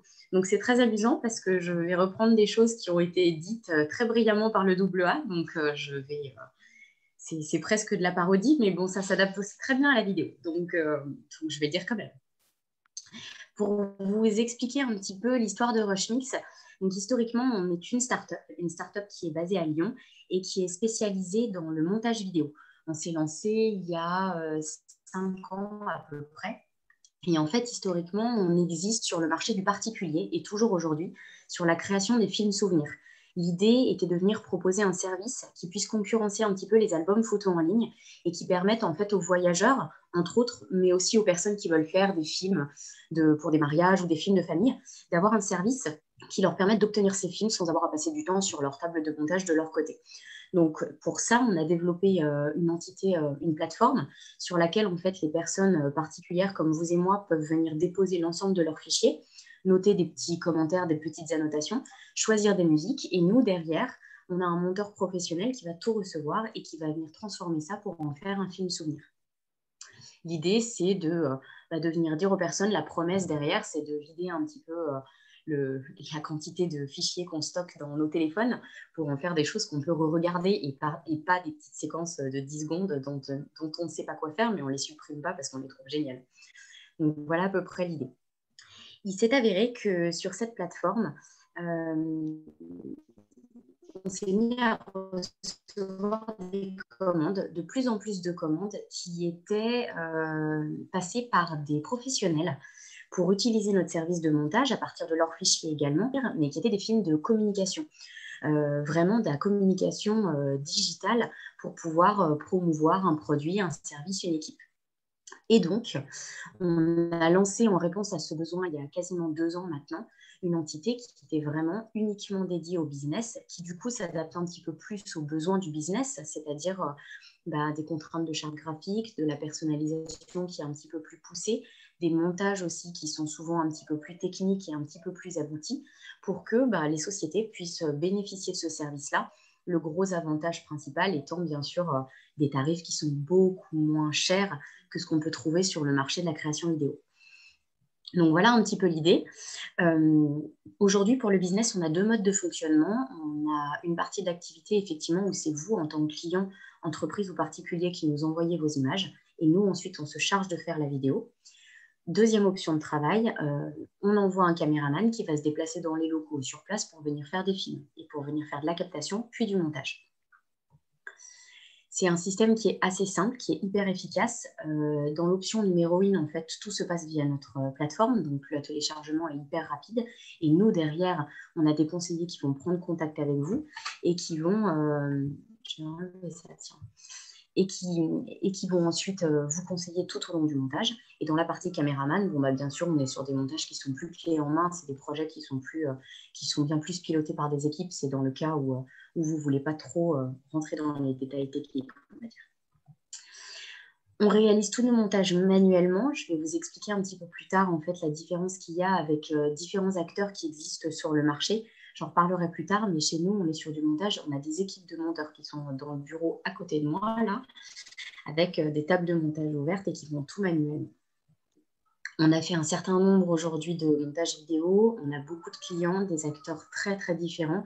Historiquement, on a beaucoup d'acteurs du secteur du tourisme, forcément, puisqu'on a beaucoup de partenaires. Mais aujourd'hui, on travaille avec des acteurs hyper différents comme euh, la banque, l'industrie, euh, parfois même le prêt-à-porter, donc vraiment des choses très, très variées.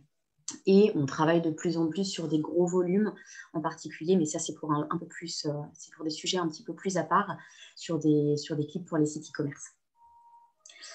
Ce que je voudrais d'abord vous expliquer, c'est l'intérêt de faire de la vidéo. Donc, euh, comme c'était dit dans le, comme le disait Mélanie au début de, l'émission, on sait que la communication, c'est quelque chose qui est hyper important. Dans tous les cas, euh, communiquer, ça va être indispensable pour vous faire connaître. Et en fait, aujourd'hui, pour communiquer, vous avez plusieurs médias qui sont à votre disposition. Et le plus performant de tous, c'est la vidéo. Pourquoi? Eh Il y a plusieurs raisons. D'abord parce que c'est un média qui est beaucoup plus facilement consommable, qui est bien plus engageant. Euh, c'est plus immersif aussi que des photos, c'est-à-dire que ça véhicule un contenu qui est plus authentique. Donc naturellement, quand vous regardez une vidéo, vous avez un côté euh, à page qui est plus fort que, que sur du texte ou même de la photo. Et aujourd'hui, c'est quelque chose qui naturellement dans votre communication digitale ou sur votre site va énormément favoriser l'engagement de vos communautés et vous faire connaître. Donc c'est un média qu'il est important d'utiliser. Deuxième raison d'utiliser de la vidéo, c'est un média qui permet beaucoup plus de conversion. Alors, c'est le cas dans les sites e-commerce quand on voit, par exemple, je ne sais pas, sur Astos, euh, quand on voit sur le prêt-à-porter des, des, clips où on voit les silhouettes portées, forcément, c'est beaucoup plus rassurant. Ça permet une meilleure compréhension de vos produits, mais ça vaut aussi pour tous les sujets. C'est-à-dire que quel que soit le sujet, que ce soit une présentation d'un circuit ou d'un hôtel, euh, vous allez avoir une bien meilleure compréhension et quelque chose qui semble beaucoup plus rassurant et beaucoup plus réel que, que de la photo, par exemple, où on a souvent peur que ce soit beaucoup plus retouché. Et aujourd'hui, on sait que ça a un impact énorme sur les taux de conversion. Donc en particulier, là, je vous ai mis une petite statistique qui est intéressante c'est qu'on sait que vous avez 73% des internautes qui ont plus de chances d'acheter un produit en ligne, en ligne si vous avez de la vidéo sur cette page produit. Donc typiquement, pour vous donner un ordre d'idée de choses qui peut être réalisable, ça nous, est arrivé de réaliser des films de destination. Donc au lieu d'avoir, on va dire, un carrousel de photos qui va présenter une destination ou un pays, et eh ben en fait, on peut faire exactement la même chose en vidéo. Et ça, ça a un impact considérable, considérable sur les ventes. Dernière raison d'utiliser de la vidéo, enfin, dernière, dernière que je vais citer, il y en a beaucoup d'autres. Euh, la vidéo, c'est quelque chose qui, en termes de communication purement digitale, donc là, c'est, on va dire, un peu l'envers du décor, c'est quelque chose qui améliore votre référencement. Donc, naturellement, si vous êtes dans une logique de vouloir booster un peu votre site internet ou, euh, qu'on vous trouve plus facilement sur les réseaux, et bien, typiquement, l'utilisation de la vidéo, ça va beaucoup vous aider parce que ça va vous permettre de remonter. On sait que. Euh, Il y a plein d'associations qui se font. Chaque euh, réseau social a ses algorithmes de tri qui sont spécifiques et qui vont toujours, dans tous les cas, booster la vidéo. Donc, typiquement, si vous publiez votre vidéo sur YouTube, eh ben, vous avez 50% de chances de plus d'apparaître sur la première page Google parce que YouTube appartient à Google et donc naturellement, eh ben, ils boostent du contenu qui est en interne ou dans leur partenariat. Donc, c'est ce genre de petites choses qui permettent de dire qu'aujourd'hui, la vidéo, c'est quelque chose qui est vraiment indispensable à développer et à mettre en avant euh, dans, la, communication. Ensuite, une fois qu'on se dit, OK, bon, super, je, vais faire de la vidéo, ça a l'air génial, il y a la question suivante qui vient se poser, c'est comment est-ce que je vais faire? Parce qu'il y a beaucoup de solutions qui existent, mais il y a aussi beaucoup de sujets, il faut savoir de quoi parler, et c'est exactement le principe euh, qui a été énoncé dans la chronique, c'est qu'il faut trouver un sujet et il faut que ce soit bien fait. Donc là, je vais reprendre un peu des choses qui ont été dites par le WA, mais effectivement, c'est très pertinent. Euh, comment est-ce qu'on fait pour faire des vidéos percutantes Avant de réfléchir à la technique et à comment est-ce que vous allez faire votre vidéo, il faut d'abord vous poser la question de ce que vous allez mettre dedans. Typiquement, on choisit une vidéo et on définit son sujet en fonction de réponses à quelques questions qui sont toujours les mêmes, qui ne, varient, qui ne varieront pas. Et c'est les réponses à ces questions qui vous définissent un objectif et qui vous permettent ensuite de venir créer une vidéo qui sera percutante. Donc les questions à vous poser, ça va être la cible, à qui est-ce que je m'adresse, quel est le message que je veux véhiculer et quelles sont les valeurs derrière que vous voulez retranscrire dans la vidéo. Où est-ce que vous allez publier cette vidéo? Est-ce que c'est quelque chose que vous allez publier uniquement en interne? Est-ce que c'est quelque chose qui va être visible et qui va être comme, euh, comme une accroche sur un site internet ou par exemple sur une chaîne YouTube? Et en fonction de ça, quels sont les formats qui sont les plus adéquats? Typiquement, euh, vous avez, euh, en termes de format, vous avez tout autant du technique, c'est-à-dire euh, en fonction des réseaux sociaux, et ben, du carré ou du non carré, que, que par exemple ben, des, questions un peu plus de fond. Est-ce qu'il faut quelque chose qui soit inspirationnel avec un style de vidéo qui soit plus lent ou au contraire quelque chose qui soit un peu plus dynamique pour pouvoir engager, engager vos communautés? Une fois qu'on a répondu, répondu à ces questions, c'est toujours intéressant en termes de vidéo de venir se donner des objectifs. Parce que faire de la vidéo, c'est intéressant. Par contre, euh, on sait que ça marche, mais c'est encore mieux de pouvoir vous le mesurer de votre côté. Donc d'avoir une idée un peu de ce que c'est que le taux d'engagement, de mesurer le taux de conversion que ça va avoir et la notoriété.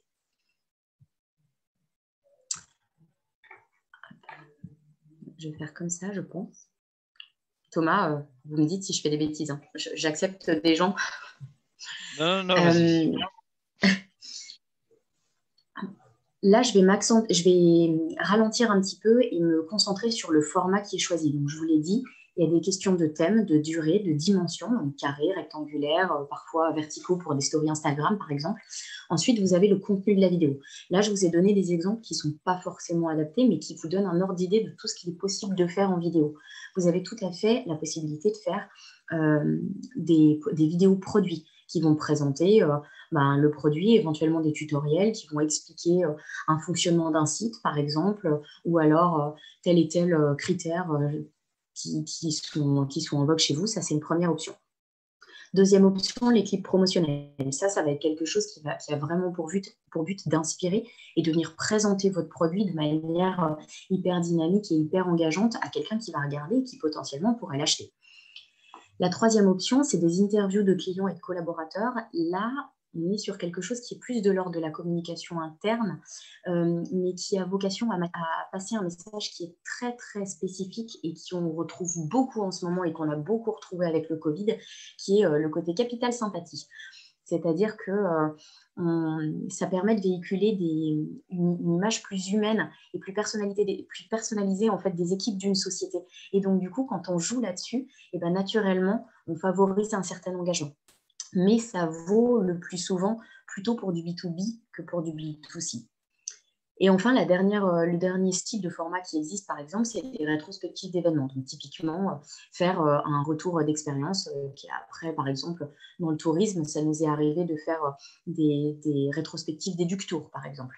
Donc, les personnes partent, elles font, elles font plein de captures, et puis nous, on va en faire un film un, film un peu bilan avec des infos clés et des souvenirs et ce genre de choses. Alors veut plus. Voilà. Donc ça, c'est sur la partie format. Ensuite, comme le disait, l'accroche un peu de, ma présentation, c'est de vous expliquer comment est-ce qu'on peut le faire soi-même. Alors effectivement, là, on rentre dans la partie technique. Une fois que vous avez défini un peu le contenu de la vidéo, le message que vous voulez donner, il faut vous avez plein d'options en fait et plein de solutions qui existent pour venir faire vos vidéos. Et aujourd'hui, alors c'était pas le vrai, c'était pas le cas encore il y a quelques années, mais aujourd'hui c'est encore plus le cas.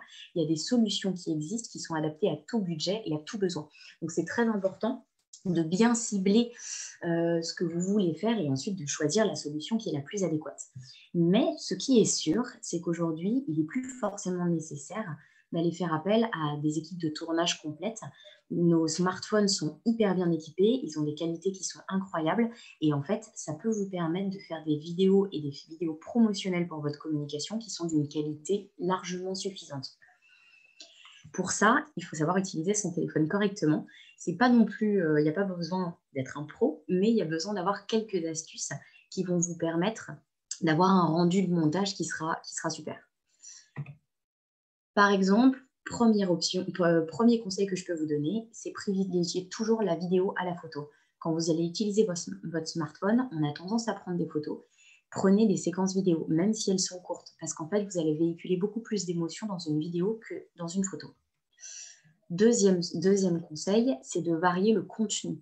C'est-à-dire que, par exemple, euh, plutôt que de prendre que des éléments de paysage, vous allez pouvoir, par exemple, prendre un paysage, mais prendre des séquences avec des personnes montrer des visages. Alors, vous pouvez ne pas avoir des visages directement humains, parce que c'est vrai que pour la communication digitale, c'est difficile quand on voit des noms de personnes ou vraiment des visages. Il faut demander de droit ou il faut s'assurer que la personne est d'accord, c'est compliqué. Mais par contre, vous pouvez tout à fait arriver à trouver euh, des moments où vous avez des séquences de vie, mais où on ne voit pas de visage. Typiquement, je ne sais pas, un cours de cuisine où vous allez voir uniquement des mains, ou alors des personnes qui marchent, mais vous vous concentrez, vous êtes de dos. Et ça, ça va vous permettre en fait de véhiculer aussi un, côté euh, bien plus, de, une proximité qui va être bien plus forte et qui du coup, tout au long de la vidéo, de la vidéo va permettre ensuite au montage de la dynamiser. Parce que vous n'aurez pas que des, des plans on va dire nature morte, mais vous aurez aussi du contenu qui, est, euh, bah, qui fait plus réel. Ah ben, petit bug d'affichage. Et ensuite, en termes de forme, ça c'est du conseil purement technique. Donc, par exemple, ce qu'on voit sur l'image, eh ben, c'est une erreur. Il ne faut pas utiliser son téléphone en format euh, vertical et portrait. Il faut toujours utiliser son format paysage. Pourquoi?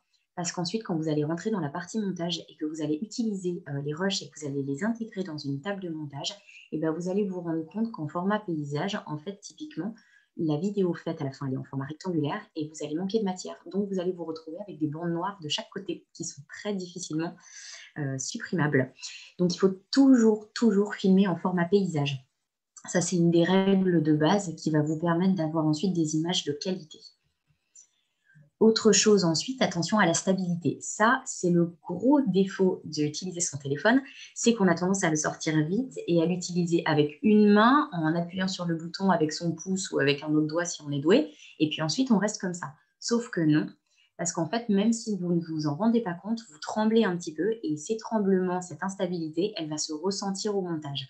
Donc c'est hyper important quand vous commencez à enregistrer d'enregistrer en utilisant vos deux mains et voire même de vous ancrer carrément euh, les deux pieds dans le sol, un peu comme un chanteur, pour être sûr que vous avez une, bonne, euh, une bonne stabilité. Ensuite, en fonction du contenu, euh, il y a des petites choses auxquelles il, faut faire attention, mais ça, c'est des choses qui sont moins graves parce qu'on pourra toujours retravailler. C'est la lumière et c'est le son. Le son, c'est quelque chose qui est important en particulier quand vous allez commencer à donner la parole à vos collaborateurs. Typiquement, vous décidez demain de faire une présentation de toutes les personnes qui sont dans votre équipe et vous allez vous dire, bon, bah voilà, je vais enregistrer ça avec mon téléphone, on va faire quelque chose, par exemple, en format euh, combini. Et donc, vous allez sortir votre téléphone et vous allez leur demander à chacune de se présenter en 10-15 euh, secondes. Et bien, c'est super, sauf que si jamais le son n'est pas bon, que vous avez un écho ou que, je ne sais pas, un camion de pompier qui passe derrière, bon, bah ça, ça risque de s'entendre. De la même manière, quand on capte sur le son, L'extérieur est toujours sympa, mais c'est mieux de vous, assurer qu'il n'y a pas trop de bruit de parasite parce que c'est des choses qui sont difficilement supprimables ensuite au montage. La lumière, la lumière, c'est un point qui est un peu moins euh, dangereux, on va dire, parce qu'aujourd'hui, les téléphones s'adaptent bien et on peut faire de très jolies choses, même à contre-jour. Donc, il n'y a pas forcément besoin d'aller forcément se mettre, faire très attention au contre-jour ou autre. C'est pas nécessaire. Aujourd'hui, ce qu'il faut, c'est que vous ayez une bonne netteté et que la lumière soit quand même suffisante. Si vous captez dans le noir, oui, ça c'est sûr, ça va être compliqué. À partir de là, vous allez avoir votre contenu et vous avez plusieurs solutions existantes. Alors, je vais faire comme ça, comme ça vous avez tout. Euh, la première solution qui existe, il y, en a, il y en a quatre, grosso modo. La, première solution qui existe pour venir utiliser cette matière euh, pour en faire une vidéo, c'est de le faire soi-même. Donc là, pour ça, soit vous avez des applications qui existent qui sont gratuites, soit vous avez des logiciels de montage sur lesquels vous, vous achetez les licences, tout simplement. L'idée, en très caricaturé, c'est que plus euh, le logiciel est cher, plus vous allez avoir de fonctionnalités. Sachant que ce n'est pas tout à fait vrai, puisque dans la pratique, il y a souvent des partenariats. Donc, il y a certains logiciels qui se retrouvent gratuits, mmh. mais avec plus de fonctionnalités sur un, sur un iPhone, par exemple, et d'autres qui, au contraire, auront plus de fonctionnalités sur Android. Il y a des partenariats un peu euh, sous la table parfois qu'on ne comprend pas très bien, mais, euh, mais c'est un fait. L'avantage d'utiliser et de faire vous-même le, montage, c'est que vous allez pouvoir faire exactement ce que vous voulez. Vous allez pouvoir personnaliser autant que souhaité. Vous allez pouvoir passer autant de temps que vous voulez pour venir choisir des couleurs, des polices, des effets de transition. Le gros avantage supplémentaire, c'est que souvent, c'est des coûts qui sont moins chers puisque vous payez soit une licence ou alors rien du tout. Mais clairement, on n'est pas sur des budgets qui sont colossaux. Les inconvénients de cette technique-là, c'est qu'il faut quand même y passer du temps ou alors avoir une certaine maîtrise, c'est-à-dire que faire du montage, c'est quelque chose qui est extrêmement chronophage, et dès lors que vous allez vouloir personnaliser et rentrer dedans, soit vous êtes formé, soit effectivement ça va être assez long. Euh, même quand on est formé, ça demande d'avoir une technicité qui est à développer en continu. C'est-à-dire que euh, au fur et à mesure des versions, vous avez tout le temps des fonctionnalités qui sortent, de nouvelles choses qui arrivent. Et même pour le monteur, typiquement, nous, chez nous en interne, ça demande une formation qui est permanente pour être sûr de s'adapter bah, aux nouvelles fonctionnalités qui, euh, sortent dans les logiciels. Et le dernier inconvénient, c'est que le coût est moindre, effectivement, mais par contre, les logiciels ne sont pas toujours gratuits. Deuxième solution qui existe, ce sont les applications automatiques. Alors là, typiquement, euh, la capture que vous voyez, c'est une application qu'on trouve euh, sur iPhone et sur Android, qui est l'application de Premiere Pro, qui s'appelle Adobe Premiere Rush et qui est sur les téléphones. En fait, ces applications automatiques, vous êtes sur des, euh, sur des montages en fait, qui sont faits instantanément. C'est-à-dire que vous allez venir télécharger vos rushs, mais ça n'est pas personnalisable. Vous avez des des templates qui sont créés et vous rentrez à l'intérieur de ce template et vous venez placer vos rushs dans un certain ordre chronologique, mais après, vous n'avez pas la main mise sur le montage. Et ce montage-là n'est pas modifiable. Les gros avantages, bah, c'est que c'est un délai de livraison inégalé, c'est instantané. Forcément, vous téléchargez vos rushs et puis vous appuyez sur le bouton et puis après, c'est fait. Donc, euh, ça, euh, on ne peut pas faire plus rapide. Vous avez accès à des modèles qui sont préétablis, c'est-à-dire que vous allez pouvoir présélectionner un modèle avec des codes couleurs, etc. Par contre, vous n'allez pas forcément pouvoir venir euh, personnaliser à 100% en fonction de votre charte graphique, par exemple. L'autre gros avantage, c'est que c'est une tarification qui est abordable. Très souvent, on est sur des, packages ou alors des forfaits à l'année ou mensuels, des abonnements, un peu comme des abonnements. Vous avez accès à une appli et puis, euh, et puis un certain nombre de modèles préétablis et vous venez ensuite les utiliser de manière un peu limitée. Donc, si vous êtes dans une logique de venir vraiment euh, industrialiser, industrialiser la vidéo et de venir faire énormément de contenu, c'est quelque chose qui peut être intéressant. L'inconvénient de cette solution, c'est que c'est un montage que vous allez faire vous-même. Donc, vous allez devoir quand même passer du temps sur l'application. Ce n'est pas quelqu'un d'autre qui le fait pour vous. Et ce sont des montages qui sont 100% automatiques. Donc, il n'y a pas forcément de personnalisation ou de légers petits points de détail qui peuvent être changés. Et vous n'aurez pas de conseils ni d'accompagnement derrière en termes de, créa et de graphique. Troisième solution existante, alors là, on va rentrer sur une partie qui est plutôt du caméraman pour ceux qui cherchent vraiment à développer euh, la vidéo et à faire des vidéos qui sont un petit peu plus poussées. Vous avez une solution qui consiste à faire appel à des freelances. Donc typiquement, le freelance, c'est quelqu'un qui va se déplacer avec son matériel, qui va avoir une caméra pro et qui va vous suivre, qui va prendre l'ensemble des rushs et qui ensuite va vous faire le montage. Ça a énormément d'avantages et aussi des inconvénients, un peu comme toutes les techniques. En fait, il n'y a, pas de, méthode parfaite. Vous avez un service et vous devez choisir le service qui va correspondre le plus à votre besoin. Le gros avantage, c'est que ce n'est pas très cher. Par rapport à d'autres solutions ou d'autres agences de production, le freelance, il va avoir un tarif qui est assez abordable. Et vous allez pouvoir faire quelque chose qui est 100% personnalisé puisque vous êtes son client. Donc, il est à 100% à votre disposition pour faire ce que vous avez besoin qu'il fasse. Les inconvénients, c'est que très souvent, on est sur des délais de livraison qui peuvent être variables. Parce que autant il va pouvoir aller assez rapidement euh, sur certains projets, autant vous ne savez pas derrière dans quelle mesure il a euh, d'autres clients en parallèle, donc ça peut être aussi un petit peu plus long. Vous avez des contrôles qualité qui sont un petit peu plus faibles, c'est-à-dire que le freelance, c'est quelqu'un c'est un expert technique, c'est un expert technique du montage vidéo qui va qui va masteriser en fait globalement sa table de montage. Par contre, c'est pas forcément un expert en communication. Donc, pour pouvoir, pour pouvoir vous orienter et vous donner les meilleurs conseils pour que votre vidéo percute sur les réseaux sociaux, il n'y a pas que la technicité, il y a aussi la partie communication. Et ça, ce n'est pas forcément quelque chose qui sera euh, que, que vous pourrez avoir, ou en tout cas peut-être pas de manière aussi poussée que sur d'autres solutions. Et alors, j'ai une, dernière chose que j'ai mentionnée, ce sont les coûts cachés. Euh, effectivement, en fait, avec les freelances, il peut y avoir, alors c'est valable aussi pour d'autres choses, mais il peut y avoir des coûts cachés dans le sens où on peut très bien arriver au bout d'un certain nombre d'allers-retours de modification, ou alors si on veut rajouter telle fonctionnalité, ou alors telle plus. Ça, mais c'est logique, ce sont des choses qui sont souvent euh, facturées en supplément. Dernière solution, c'est les agences de communication. Euh, alors, les agences de communication, là, c'est euh, le, haut du panier en termes de budget et en termes de personnalisation. C'est-à-dire que ce sont des experts en communication, en contenu digital. Donc, eux, ils vont vous apporter euh, un rendu qui va être en top qualité. Ils vont vous apporter des conseils qui seront incroyables et qui seront hyper pertinents.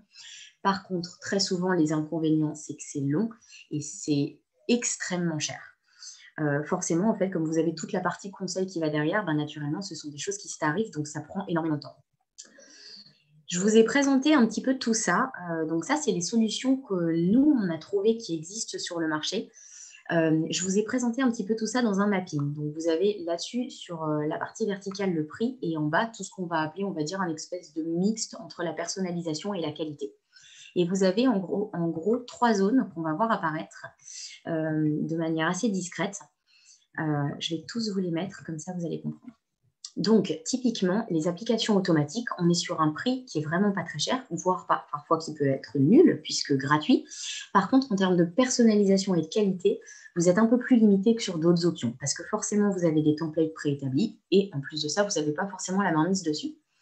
Deuxième solution, le faire vous-même. Alors là, vous avez un prix, euh, bah, vous allez forcément devoir vous équiper à un moment avec euh, soit du matériel, euh, soit un accès à une table de montage si vous voulez faire quelque chose qui est un petit peu abouti. Par contre, vous allez être un peu plus abouti, vous allez être un peu plus poussé sur la personnalisation et la qualité. Troisième solution, les freelances. Donc là, on voit, hein, c'est vraiment une courbe presque, enfin, presque une ligne droite en fait. Le freelance qui lui va avoir un tarif un peu plus cher mais qui personnalise, et l'agence de communication qui elle a un prix qui est souvent très cher, mais avec une personnalisation et une qualité qui sont inégalées. C'est vraiment une ligne, en fait, grosso modo, il y a, il y a une corrélation directe et permanente entre le prix et la personnalisation et la qualité. Nous, comme vous le voyez, on s'est positionné sur un créneau qui n'existe pas. On est un système qui est un petit peu euh, hybride sur le marché. L'idée, c'est de venir proposer une solution qui est du montage manuel, donc personnalisable et de qualité, mais qui est à un prix abordable puisque c'est fait avec vos rushs. Donc, on n'est pas vraiment sur de l'application, on n'est pas sur du montage vous-même, on est vraiment sur quelque chose qui mixe les deux, qui de notre point de vue à nous, en tout cas dans la promesse qu'on veut proposer, qui permet en fait de mixer un peu tous les avantages. C'est-à-dire que euh, pour, des réseaux sociaux où le contenu se consomme de manière rapide, il n'y a pas besoin aujourd'hui d'avoir des films qui sont extrêmement chers. Par contre, c'est plus intéressant d'en avoir plusieurs et du coup, avec la qualité, ça corrélé avec la qualité des, des rushs qu'on peut avoir sur des, sur des smartphones, eh ben, on a tout intérêt en fait à juste venir vous proposer, le, mettre à votre disposition en fait notre expertise technique sur la partie montage. Donc ça, c'est vraiment euh, notre, euh, notre positionnement clé pour venir vous éviter d'avoir à perdre du temps sur le montage en fait.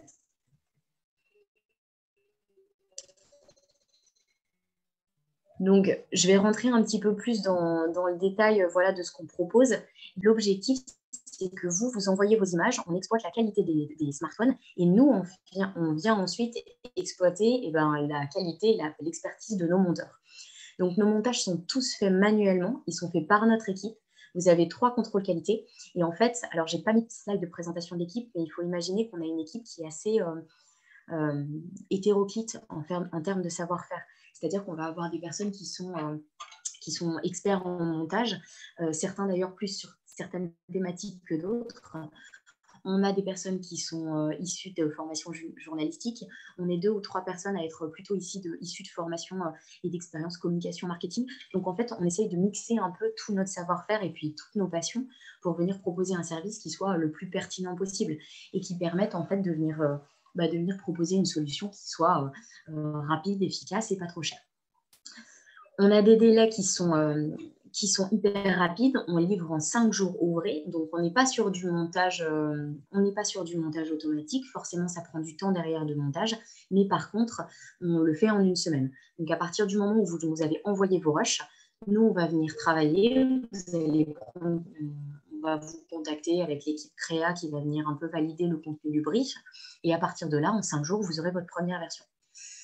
Euh, cette version-là qui va vous être envoyée, elle est toujours modifiable, puisque c'est manuel, on peut l'ouvrir et la modifier autant que souhaité. Comment est-ce que ça c'est possible? C'est un peu, euh, là on rentre un peu dans le, cœur et dans le secret euh, du business model.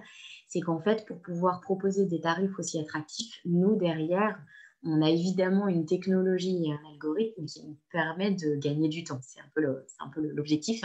Et en fait, ça, c'est un peu notre, notre sauce secrète L'idée, c'est que dans notre plateforme, on a intégré euh, un, développement qui permet en fait de venir réceptionner l'intégralité des fichiers que vous nous envoyez, les retrier, les recadrer, les améliorer et les injecter dans les tables de montage de nos monteurs.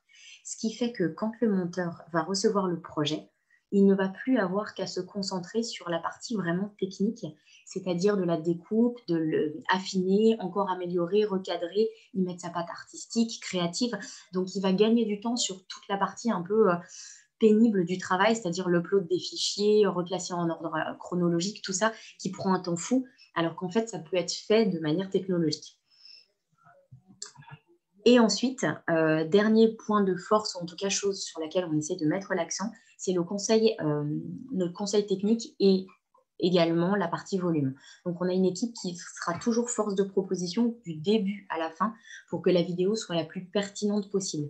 Et d'ailleurs, on essaye de tenir compte quand on fait plusieurs réalisations de bien s'assurer que en fonction de l'impact que la vidéo a eu, eh ben, on puisse s'affiner pour que les vidéos suivantes soient encore plus percutantes ou alors qu'on améliore certains défauts qui ont été faits. Voilà à peu près. Euh, je vous ai juste noté ça. En fait, on a, euh, je suis pas, il y a un peu plus de détails que ça sur la partie euh, bien filmer et photographier avec son iPhone. On a un guide qui est tout prêt en format PDF que je voulais vous partager. Le problème, c'est que j'ai plus de connexion et j'arrive pas à accéder à mon réseau. Donc, malheureusement, je ne vais pas pouvoir le faire. Mais si vous voulez, je vous, je vous l'enverrai. Je peux tout à fait vous l'envoyer par email pour vous donner pour vous donner quelques infos supplémentaires si jamais c'est quelque chose qui peut vous intéresser. voilà, je rends la parole. Merci beaucoup Adeline euh, et non pas Émilie.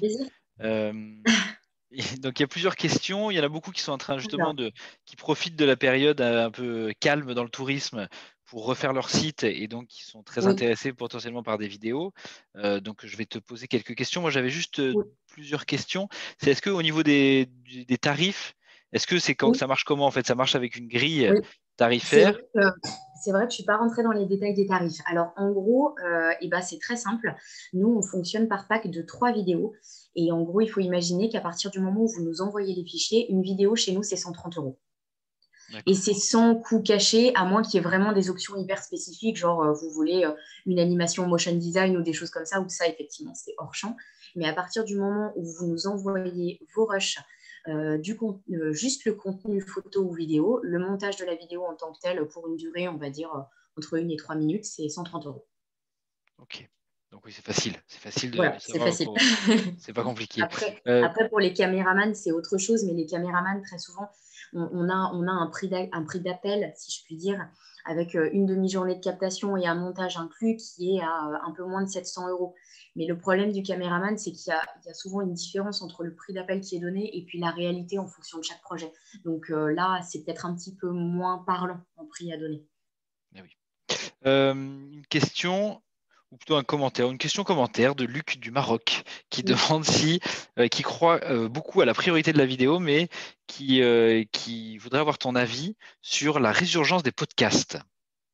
Alors, le podcast, c'est quelque chose qui marche très bien aussi. Ce n'est pas tout à fait le même sujet.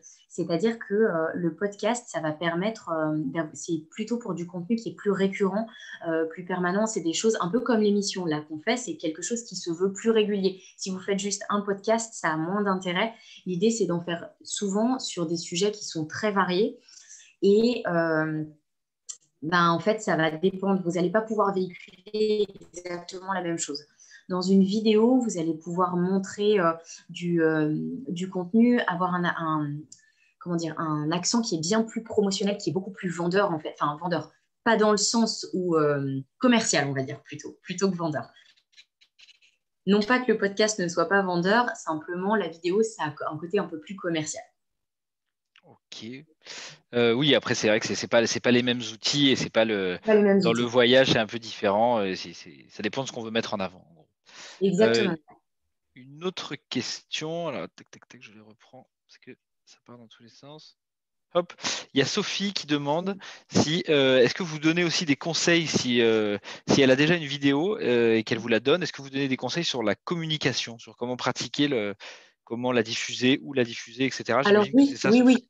Oui, oui, tout à fait. En fait, là, j'en ai pas parlé, mais on a effectivement tout un pan de notre travail qui consiste à conseiller sur la partie communication. On a même un livre blanc qui existe et qui est disponible sur notre site justement pour venir rentrer dans les détails euh, bah, des conseils de communication comme euh, à quel moment je publie, comment je publie, euh, sur quel réseau, quelles sont les spécificités de LinkedIn, de YouTube, d'Instagram, de Facebook, parce qu'ils ont tous leur petit, algorithme et parfois on ne comprend pas très bien, mais il y a un post sur LinkedIn qui va super bien marcher et puis par contre, ben, à côté sur Facebook, il, il plonge complètement, on ne sait pas ce qui se passe. Effectivement, on, on va pouvoir accompagner et conseiller là-dessus. Euh, est-ce que Jackie qui demande, qui remercie déjà, euh, qui te remercie pour la présentation et qui demande qui établit le storyboard de la vidéo après le brief? Est-ce que c'est l'entreprise ou Rushmix?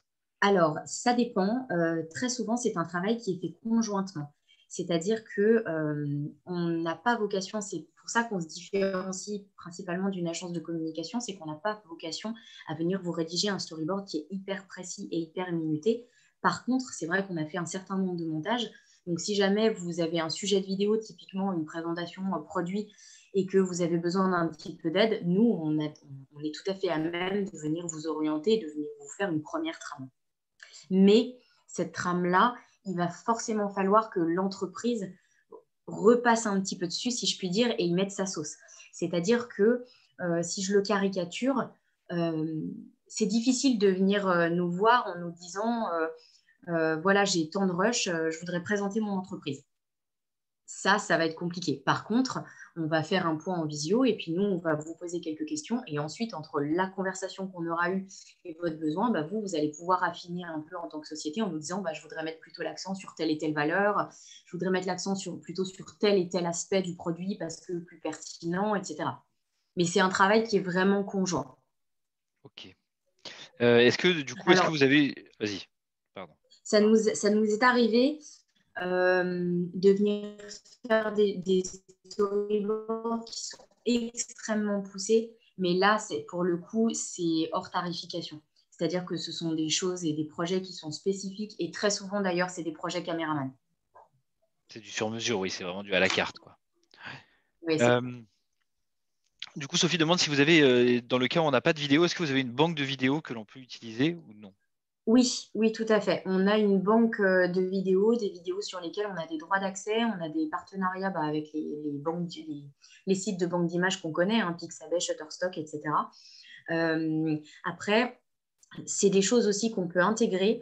Euh, dans les formules à 130 euros, on est, à même, et parfois c'est même souvent inclus, d'intégrer un ou deux plans de coupe si c'est nécessaire.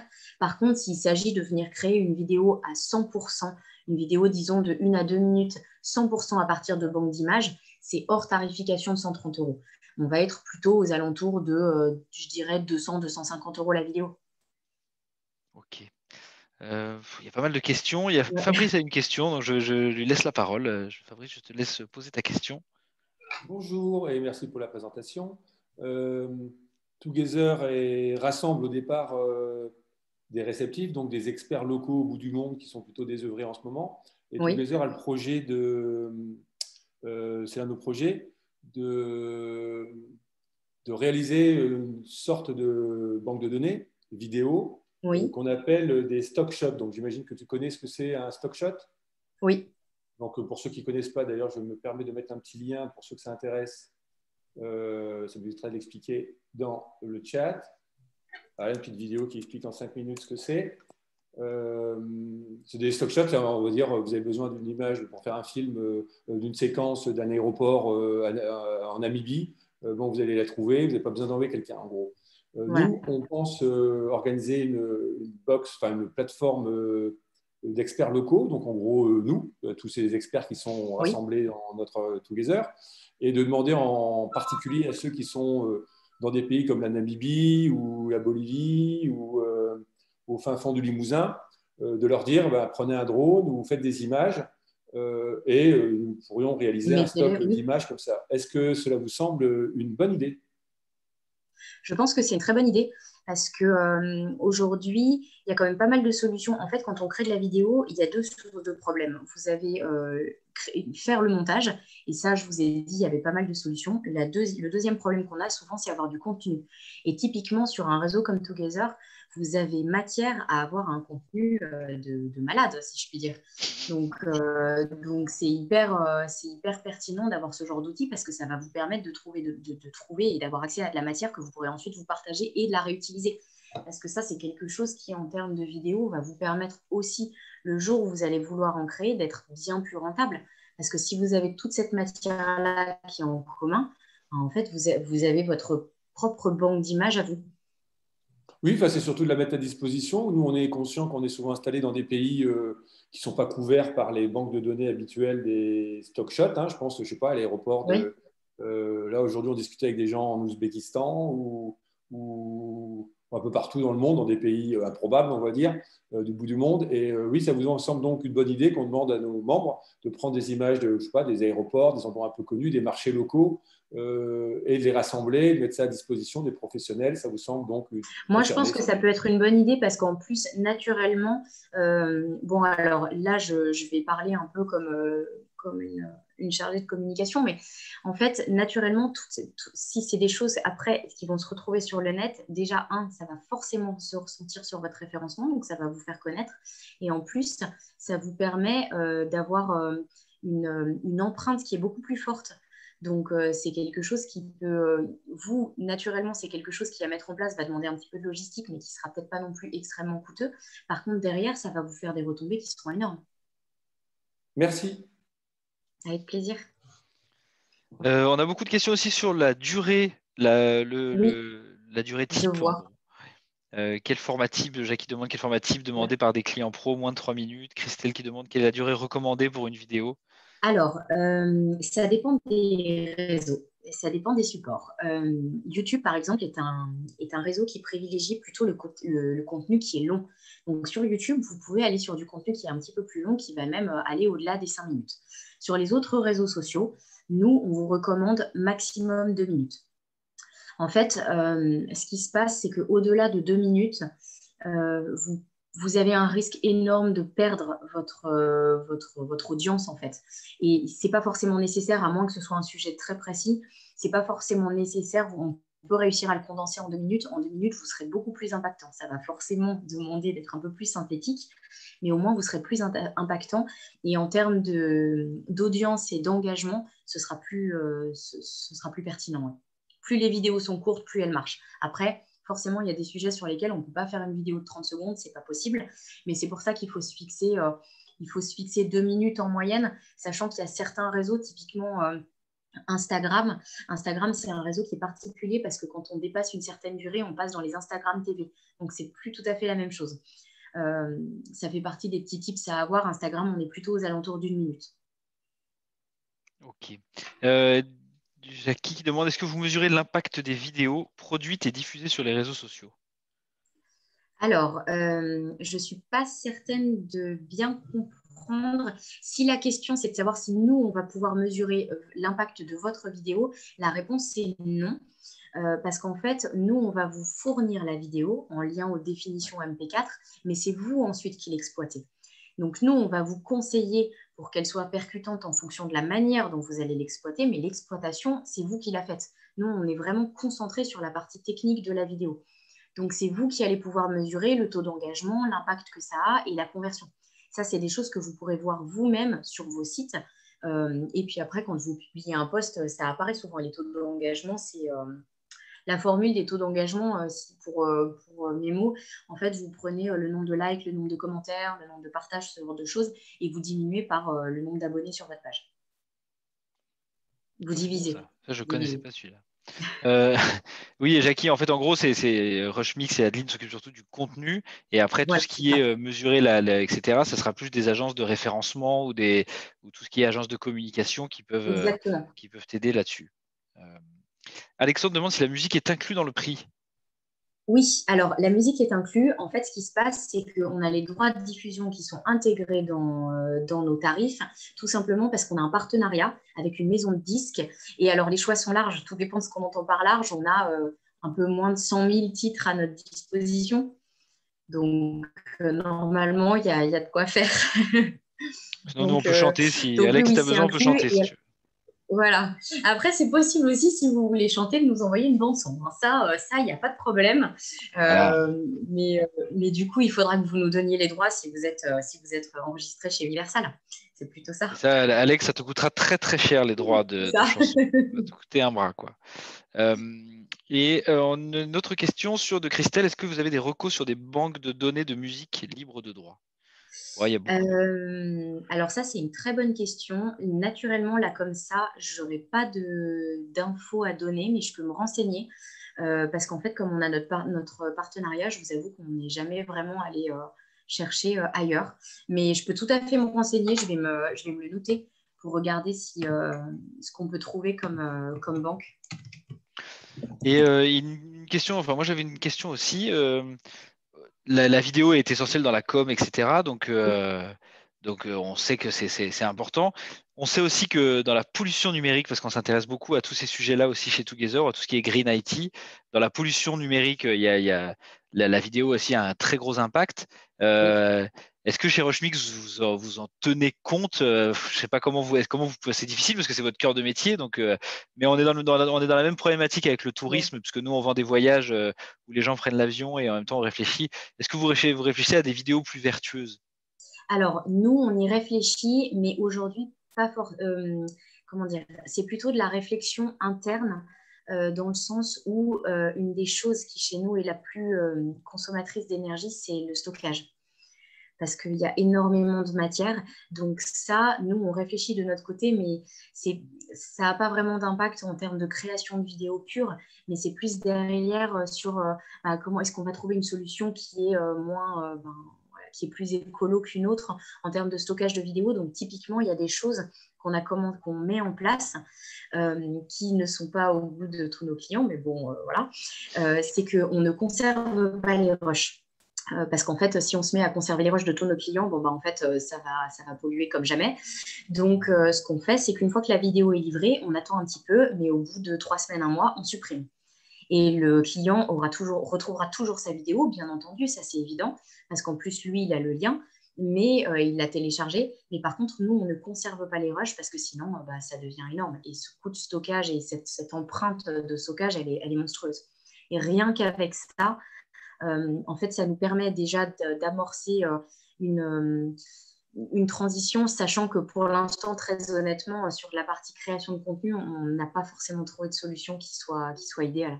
Pour venir en faire quelque chose qui soit, qui soit hyper green, c'est compliqué. Ah Ce qu'on fait, c'est que on a des choses qui sont faites chez nous, donc on connaît le matériel sur lequel on, sur lequel on travaille et bon, bah, on, fait en sorte que ce soit des choses qui soient les moins et moins énergiquement calorique, eh Mais aujourd'hui, c'est quand même très compliqué. Donc, on se concentre beaucoup sur de la partie, euh, sur de la partie. Ok. Est-ce que vous avez d'autres questions pour Adeline? Non. Si vous n'avez pas d'autres questions, merci beaucoup Adeline pour ta présentation. C'était très intéressant. Je mettrai les contacts d'Adeline de toute façon dans le, dans le, mail que je vous enverrai avec le replay. Donc vous pourrez la contacter et, euh, et elle, voilà, elle est à votre dispo euh, si vous voulez plus d'infos sur les tarifs, etc., comment ça marche, les livres blancs, etc. etc. Merci beaucoup Adeline. Merci, euh, avec plaisir. À très bientôt. On va terminer du coup avec une petite revue de presse euh, un peu courte, mais sympathique. Donc, j'envoie encore le générique. Voilà. Tu le mets derrière le truc, comme ça je le... Fils ton père avec mon trou du cul par hasard Dis donc, t'arrêtes de gueuler, René Non, non, non, euh, Abdel Abdel Abdel Abdel laissez-le terminer, laissez-le terminer. Non, non, non, laissez-le terminer. Alors voilà, cette euh, revue de presse euh, va commencer. C'est en quelques, en quelques mots, en gros, c'est quelques lectures, euh, soit récentes, soit pas récentes, que j'ai eues les derniers, jours, les dernières semaines. Donc, un truc qui m'a beaucoup fait réfléchir les, les, dernières semaines, enfin qui m'a fait penser à pas mal de, les événements un peu autour de nous, c'est que je crois qu'on vit tous la même chose, c'est que euh, on doit tous essayer de motiver nos, équipes euh, en période de crise et c'est pas simple quand on est dans le tourisme puisque euh, on n'a pas forcément d'activité et on essaye de garder la foi et la flamme pour tout le monde. je suis tombé sur un article qui était très intéressant que je vais vous montrer tout de suite, qui était un article celui-là qui était dans The Conversation. Je vous mettrai le lien dans le chat. Euh, autour euh, de euh, le thème était qu'en temps de crise, il vaut mieux servir les autres qu'être charismatique. Et ça parle du, thème de servant leadership. Donc, je vous invite à, le lire. C'est une réflexion vraiment très intelligente et ça renvoie vers plusieurs, liens sur qu'est-ce qu'un bon leader en ce moment en période de crise et qu'est-ce que doit être un leader dans le, monde de demain face à des générations aussi qui ne sont pas les mêmes qu'avant. Donc, la notion d'autorité, etc. Euh, c'est très intéressant et il y a notamment un article d'un. Ça renvoie vers un autre article qui s'appelle d'un monsieur qui s'appelle, je ne sais plus le nom, mais qui vous retrouverez le lien euh, dans le dedans et c'est très intéressant. Euh, un autre, une autre petite. alors, est-ce que vous voyez il y a un micro qui est allumé. Je vais couper. D'abord. Est-ce que quelqu'un peut couper son micro? Quelqu'un m'entend? Non. Merci. Euh, est-ce que vous voyez donc, euh, si je change d'onglet, vous voyez bien mon deuxième onglet Je suis sur l'onglet qui renvoie à test de personnalité. Est-ce que vous le voyez bien? Oriane Aurore vous me dites c'est bon, voilà, merci Aurore qui me fait un de la tête. Des tests de personnalité, donc c'est des tests qu'on utilise, euh, nous on a utilisé dernièrement, euh, et ça va avec l'idée de, leadership. Hein, euh, c'est assez intéressant pour le faire pour vous-même. Moi je l'ai refait dernièrement, d'ailleurs puisque euh, Aurore et Oriane l'ont fait aussi, et, euh, moi je l'ai refait aussi euh, personnellement. c'est vraiment très intéressant, c'est très simple, c'est gratuit, vous pouvez le faire. Faites-le avec vos équipes, ça donne, un profil de, de personnalités différentes. C'est assez juste, c'est ben, plutôt fin. D'ailleurs, si ça vous intéresse, je, peux vous dire déjà que par exemple, Aurore et Oriane sont très complémentaires. Euh, est-ce qu'on l'a fait exprès Est-ce qu'on l'a pas fait exprès? On ne le savait pas, mais en tout cas, les tests disent qu'elles sont très complémentaires. Donc, c'était très intéressant. Euh, ça permet de, mieux travailler avec, euh, et je pense que nous, on va le refaire avec Fabrice, et probablement qu'on passera nos tests à, Oriane et Aurore, parce que ça permettra à, tous les quatre de travailler un peu, de bien savoir avec qui on travaille. Donc, c'est assez pertinent de les faire. Euh, et de les faire assez régulièrement parce qu'on évolue beaucoup et surtout en ces périodes de crise où on a tendance à changer, euh, comme vous, savez tout ça forcément, on a tendance à, beaucoup évoluer. Euh, et un dernier livre que je vous passe, qui n'a plus rien à voir avec le tourisme, mais qui est très très intéressant. C'est un livre qui est le, livre de chevet de ma femme euh, et qui est très intéressant sur euh, notamment si vous avez des enfants. Je vous invite à le lire sur euh, l'éducation. Qu'est-ce que c'est que vraiment une éducation féministe? Comment je fais pour, pour faire grandir nos enfants dans une dans une société un peu plus, on va dire, égalitaire? Et ça va très loin dans les réflexions. C'est très, très pertinent. je vous invite vraiment à, le lire. Il est, il est vraiment passionnant. Et si vous avez des enfants, vous n'avez pas le choix de le lire. Voilà, en gros. Voilà. voilà pour ce qui est de l'émission de ce jour. Bah, je vous remercie tous.